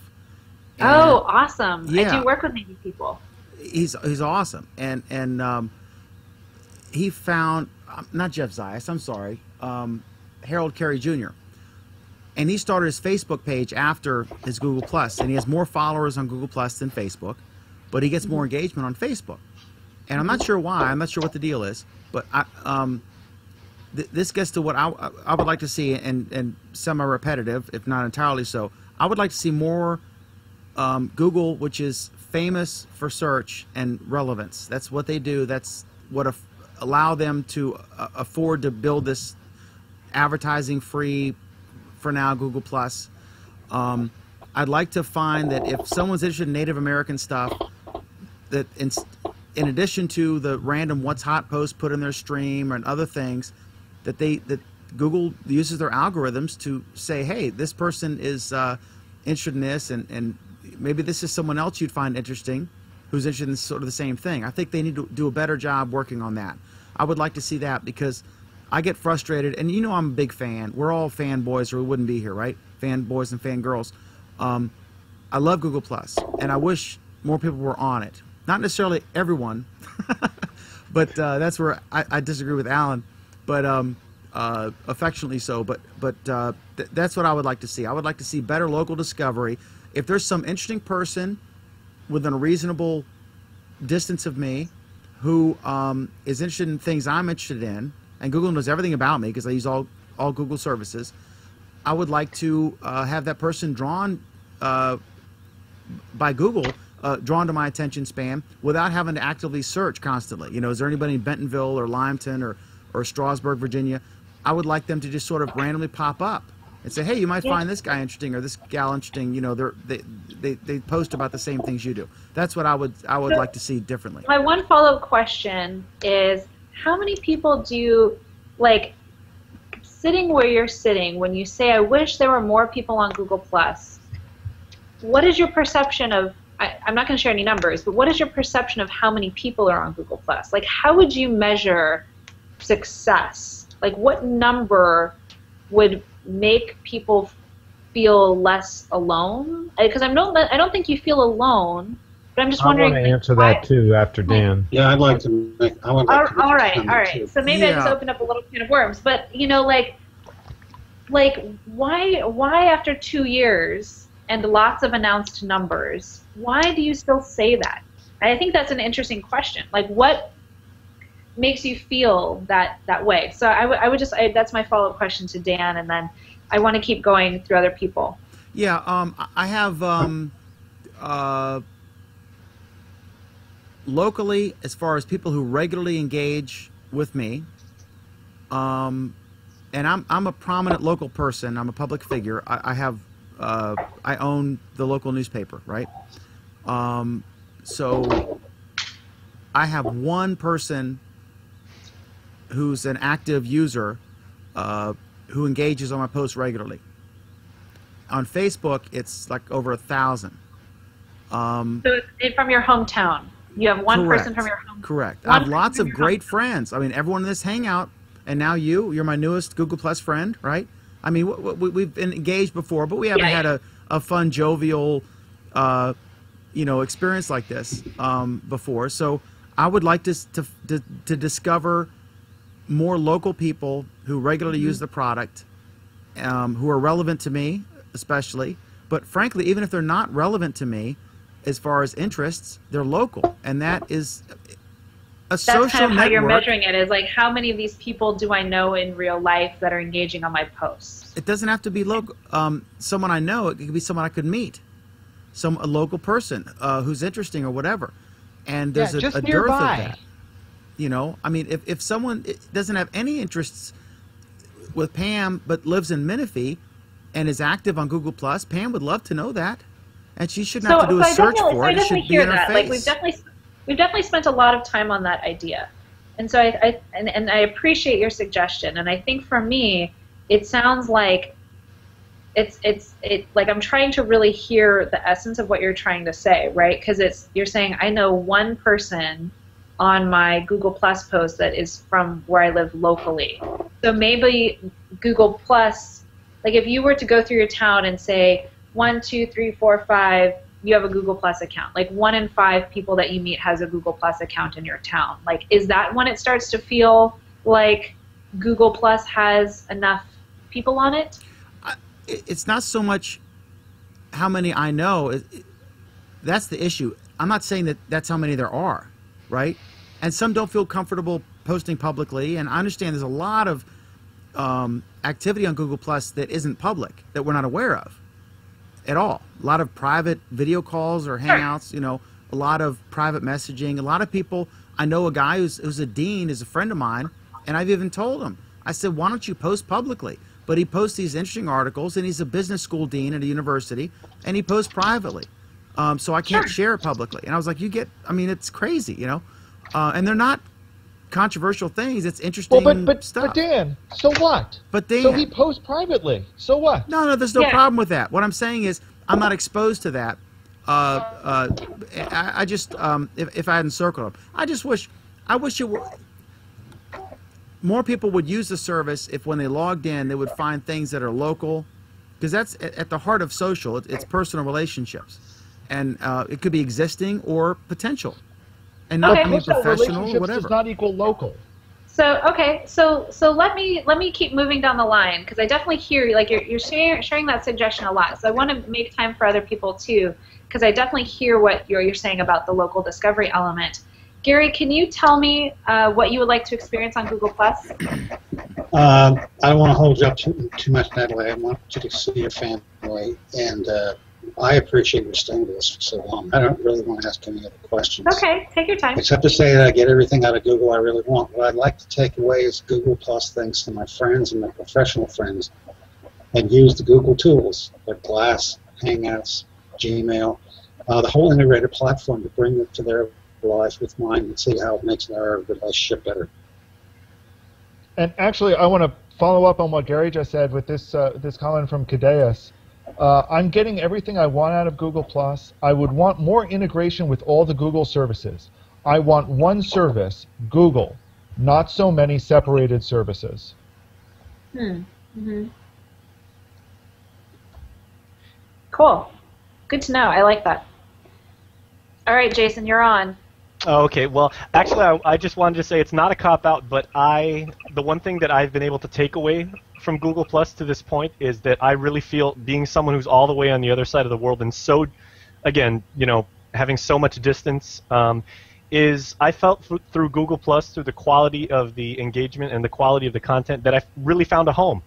And Mm. I think from other social networks, that really meant a great deal to me. So um, there's nothing that I couldn't get out of it um, already because you know not not to disparage Dan's argument, but you know the local thing has absolutely n- no bearing to me as a user because there's this magical thing called the internet where it really doesn't matter where you live. Um, it's the quality of the content, and that's what I, I'm I'm continually amazed by what the users pump into the product.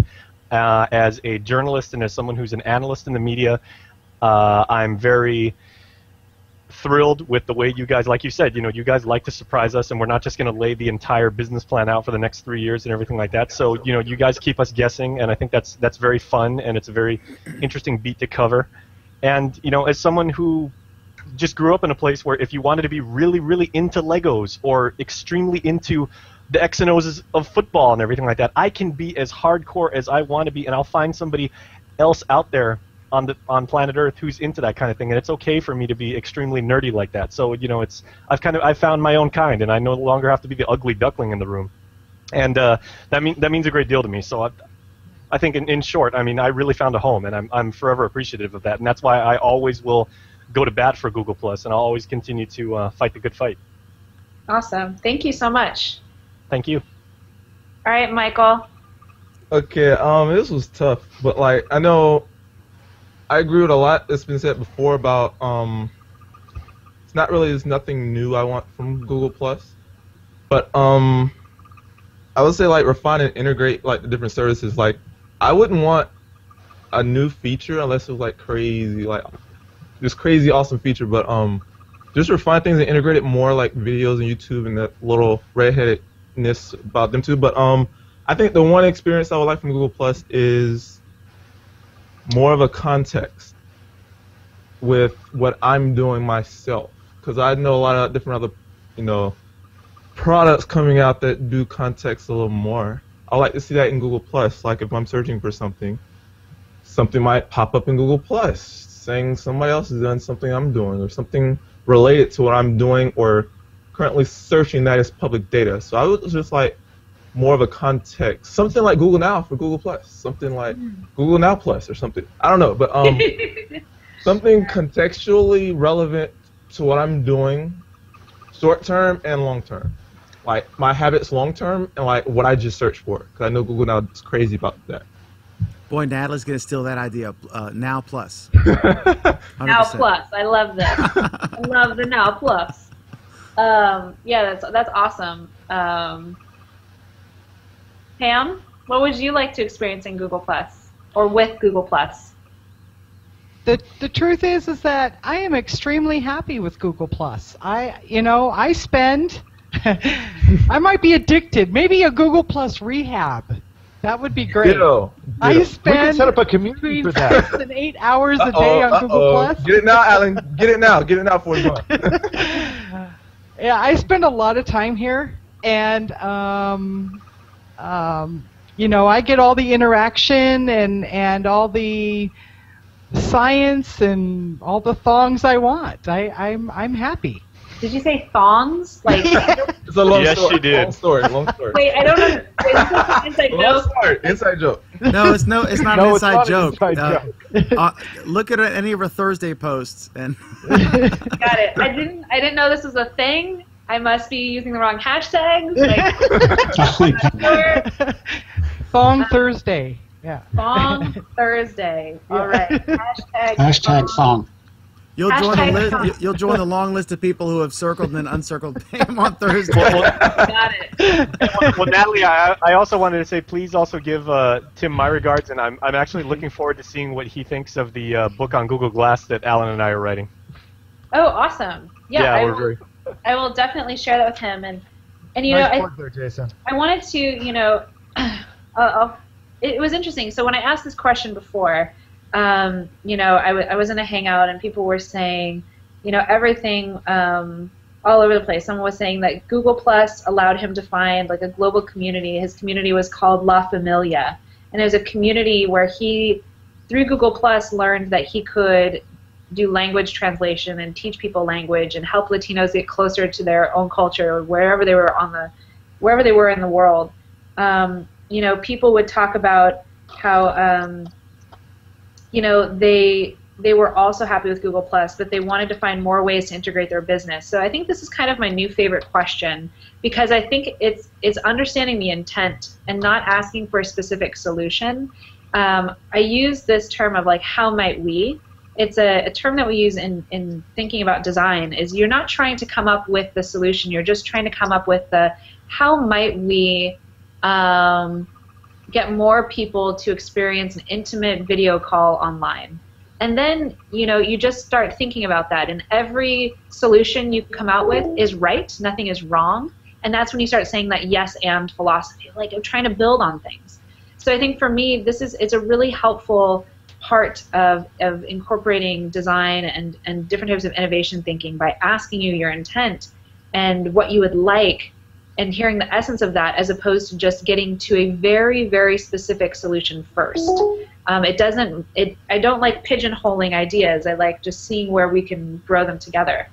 Um, and with that um, you know i would like to say thank you so much. I'm i think i've been on for about two almost two and a half hours and i don't it must have been the team and the good company um, so thank you so much for keeping me energized. And, I'm very uh, impressed that you didn't have to excuse toes. Yourself after cat. drinking tea for two and a half hours. Natalie, um, Jason, this this was Jason's uh, crazy idea to have you on. It was awesome, um, and I, I got to tell you, I expected a bunch of. We don't have any Standard because Googlies? I've, I've covered President Obama and and stuff, and you get a lot of. We don't have any uh, announcements at the personnel announcements at this time. We don't have any product announcements at this time. In your case, I expected a lot of. Um, well, I can't really comment on that. Instead, I found, um, uh, like I said, we've engaged before, but I found a lot of uh, wit, humor, fun, and um, you're a, a wonderful ambassador for Google. And I, uh, I, I was very pleasantly surprised at how unguarded you were, and uh, just sort of taking it. You know, you know, I've, I've I've heard it all. You know, I'm ready. Um, and you did you you were fantastic, and I know our viewers appreciate, it, our listeners appreciate it, and uh, I just want to thank you for taking the time to come out. This was a, a blast, and you are just a a, a, a a wonderful person for doing it, and and we thank you very much for taking the time. And my apologies to your boyfriend. it's okay. We're gonna watch uh, some awesome movie. I actually really, I mean, if I had time, I'd go out to the movies. I really want to go see the go see Pacific Rim again. Um, I had a lot of fun seeing Pacific Rim. I want to go see the new Wolverine movie. But you know, one of the things that we've, um, you know, after a long day, you know, I want to sit down and I want to read. I have a stack of books right here, right? Like, here's like one book that I, Physical I books? carried. A, I carried around. This set. This is pretty geeky, right? Or I have this really sweet book on project management. Yeah, you know. But when I get home, I'm like, man, I don't want to do that. And so we'll sit here and, and instead of calling it watching TV, we call it watching stories. So, um, you know, we we'll we'll sit down and, and have some time to relax and be with the cat, and you know. But I think it's important, you know, as someone who who works on behalf of a community like Google Plus and works on behalf of a community like Google, to to create a transparency as much as we can and to create an opportunity to share our you know a face and a, and a voice and an intimacy and um, and deliver that in a way that I feel is is human and understood. I, I think that when we all write on post together, tone gets lost real quick, right? We all think we're yelling at each other or everyone's being too serious. And um, and so I think for me when you know when when we get into hangouts we get to really know each other and understand one another. And and again that's really important to me. And so um, thank you for the opportunity to to share that humanness uh, with all of you. Um, because at the end of the day when you guys see me on posts i'm not like a robot right? Like i don't have some script that's posting for me um, i am myself and i want you guys to know me as much as i get to know you as much as we want to present that on the internet. You know you guys all see a version of who i am. But um, you know i think i think the honesty helps us feel like we're in this together. And um, and so you know I just really appreciate everyone's very honest honest commentary. You know we were jumping all over each other at times, asking questions, being like, wait, hold on a second, like, you know that's real, that's real life, and that's what Google Plus is about. Did you And just do an so Italian thing there? I I'm a, I'm a little Latin. You It did a little comes out. Sopranos. Okay, just checking out. I'm sorry. you know, um, you know, and I've I've been doing this hangout by candlelight. You know, I wasn't I wasn't gonna get away without trying to set the mood for We were tonight. catching the romantic vibe. Yeah. Yeah, yeah, thank you. Um, so yeah, so I would love to come back Okay, on and Now I again. know and I- why Natalie's hangouts fill up so fast. yeah, and uh, you know, I'd love to be on again. And and as things happen in the in the community world, I will definitely make sure to keep you, Dan, and all all of your your panelists, judges, My mentors, peeps. My peeps. your peeps, your crew, your your pirate crew with the talking cat. That that Pam, I think you're amazing. The talking cat, craziest thing I've seen all week. It's the most popular aspect of the panel. Yeah, you guys, you guys when need to think Allen- about putting that into the into the Hangout uh, app. Especially because sometimes I think the cat's rolling its eyes at me. Oh yeah, totally, Yeah. totally Right? is. As I move my head, the cat's eyes move too. Yeah, that's that's weird. thank you, thank you, Nat. Thank you, Natalie. Hey, thank you so much. We appreciate it. Uh, it was awesome. And Allen, I think we're that. That's it, right? Oh Lord, I hope so. Yes. uh, uh, uh, Natalie, it was awesome having you on. Uh, you're always welcome to come back anytime. Anytime you have something to say, or we'll, you know, we'll troll you and get you to come on once in a while when something happens. Troll free zone. But yes, and I will share all of your suggestions and ideas with the team when I get in on Monday. So thank you, and thanks to everyone who submitted questions, comments, ideas. Um, I'm again, I'm going to take those ideas uh, to the team and perhaps start implementing them. And if we do, I will definitely let you know. Especially my ideas, not so much Craig's. Thank you. Thank you. You can Only Dan's ideas. put Craig's on the back burner. Yeah, Okay, thanks, remember folks. Mon- Uh, Monday night at 10 o'clock Eastern. Hang out You and 10 Sheila, right? Oh yeah, get ready for some spam from Craig. Let me tell you. Oh yeah. Oh, I'm not going to spam her. I'm And, and gonna- Maybe his first, night- Craig's first message on, to you is going the, to the be. notifications. I got it. Some night like when four. Dan's not here, you can be a substitute moderator. Uh, yeah, uh, but yeah, Craig's first message to you is to uh, get Dan the co- a copy of that project management book because he needs one. Um, thank you all so much for watching. Google Plus Week is every Friday night, 8:30 p.m. Eastern, 5:30 p.m. Pacific. Our Android Week is Monday nights at 9 p.m. Eastern Time, 6 p.m. Pacific. We want to thank you all very much for tuning in, for watching, for listening after the fact, whatever, for commenting. Your questions are awesome. I'm going to ask one thing from from Natalie. Um, will you at least glance at the comments and questions we didn't get to, so folks didn't waste their time?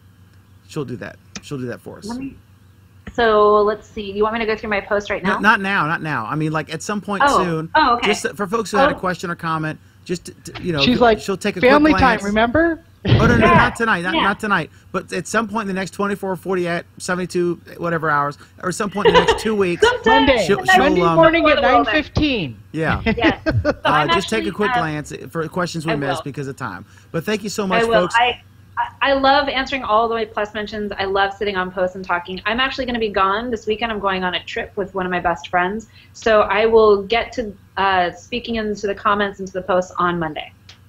Awesome. Thank you all very much. Thanks to the panel. Thanks for J- to Jason in Guam, um, a U.S. territory. Um, for, for uh, Thanks a lot, Natalie. You're, you're, a- you're a total professional and a total sweetheart. Thanks. y'all have, Have a fun. everyone have a safe Allen, trip home. weird gestures. Take care All right. and be sure to circle me. Be sure to circle me.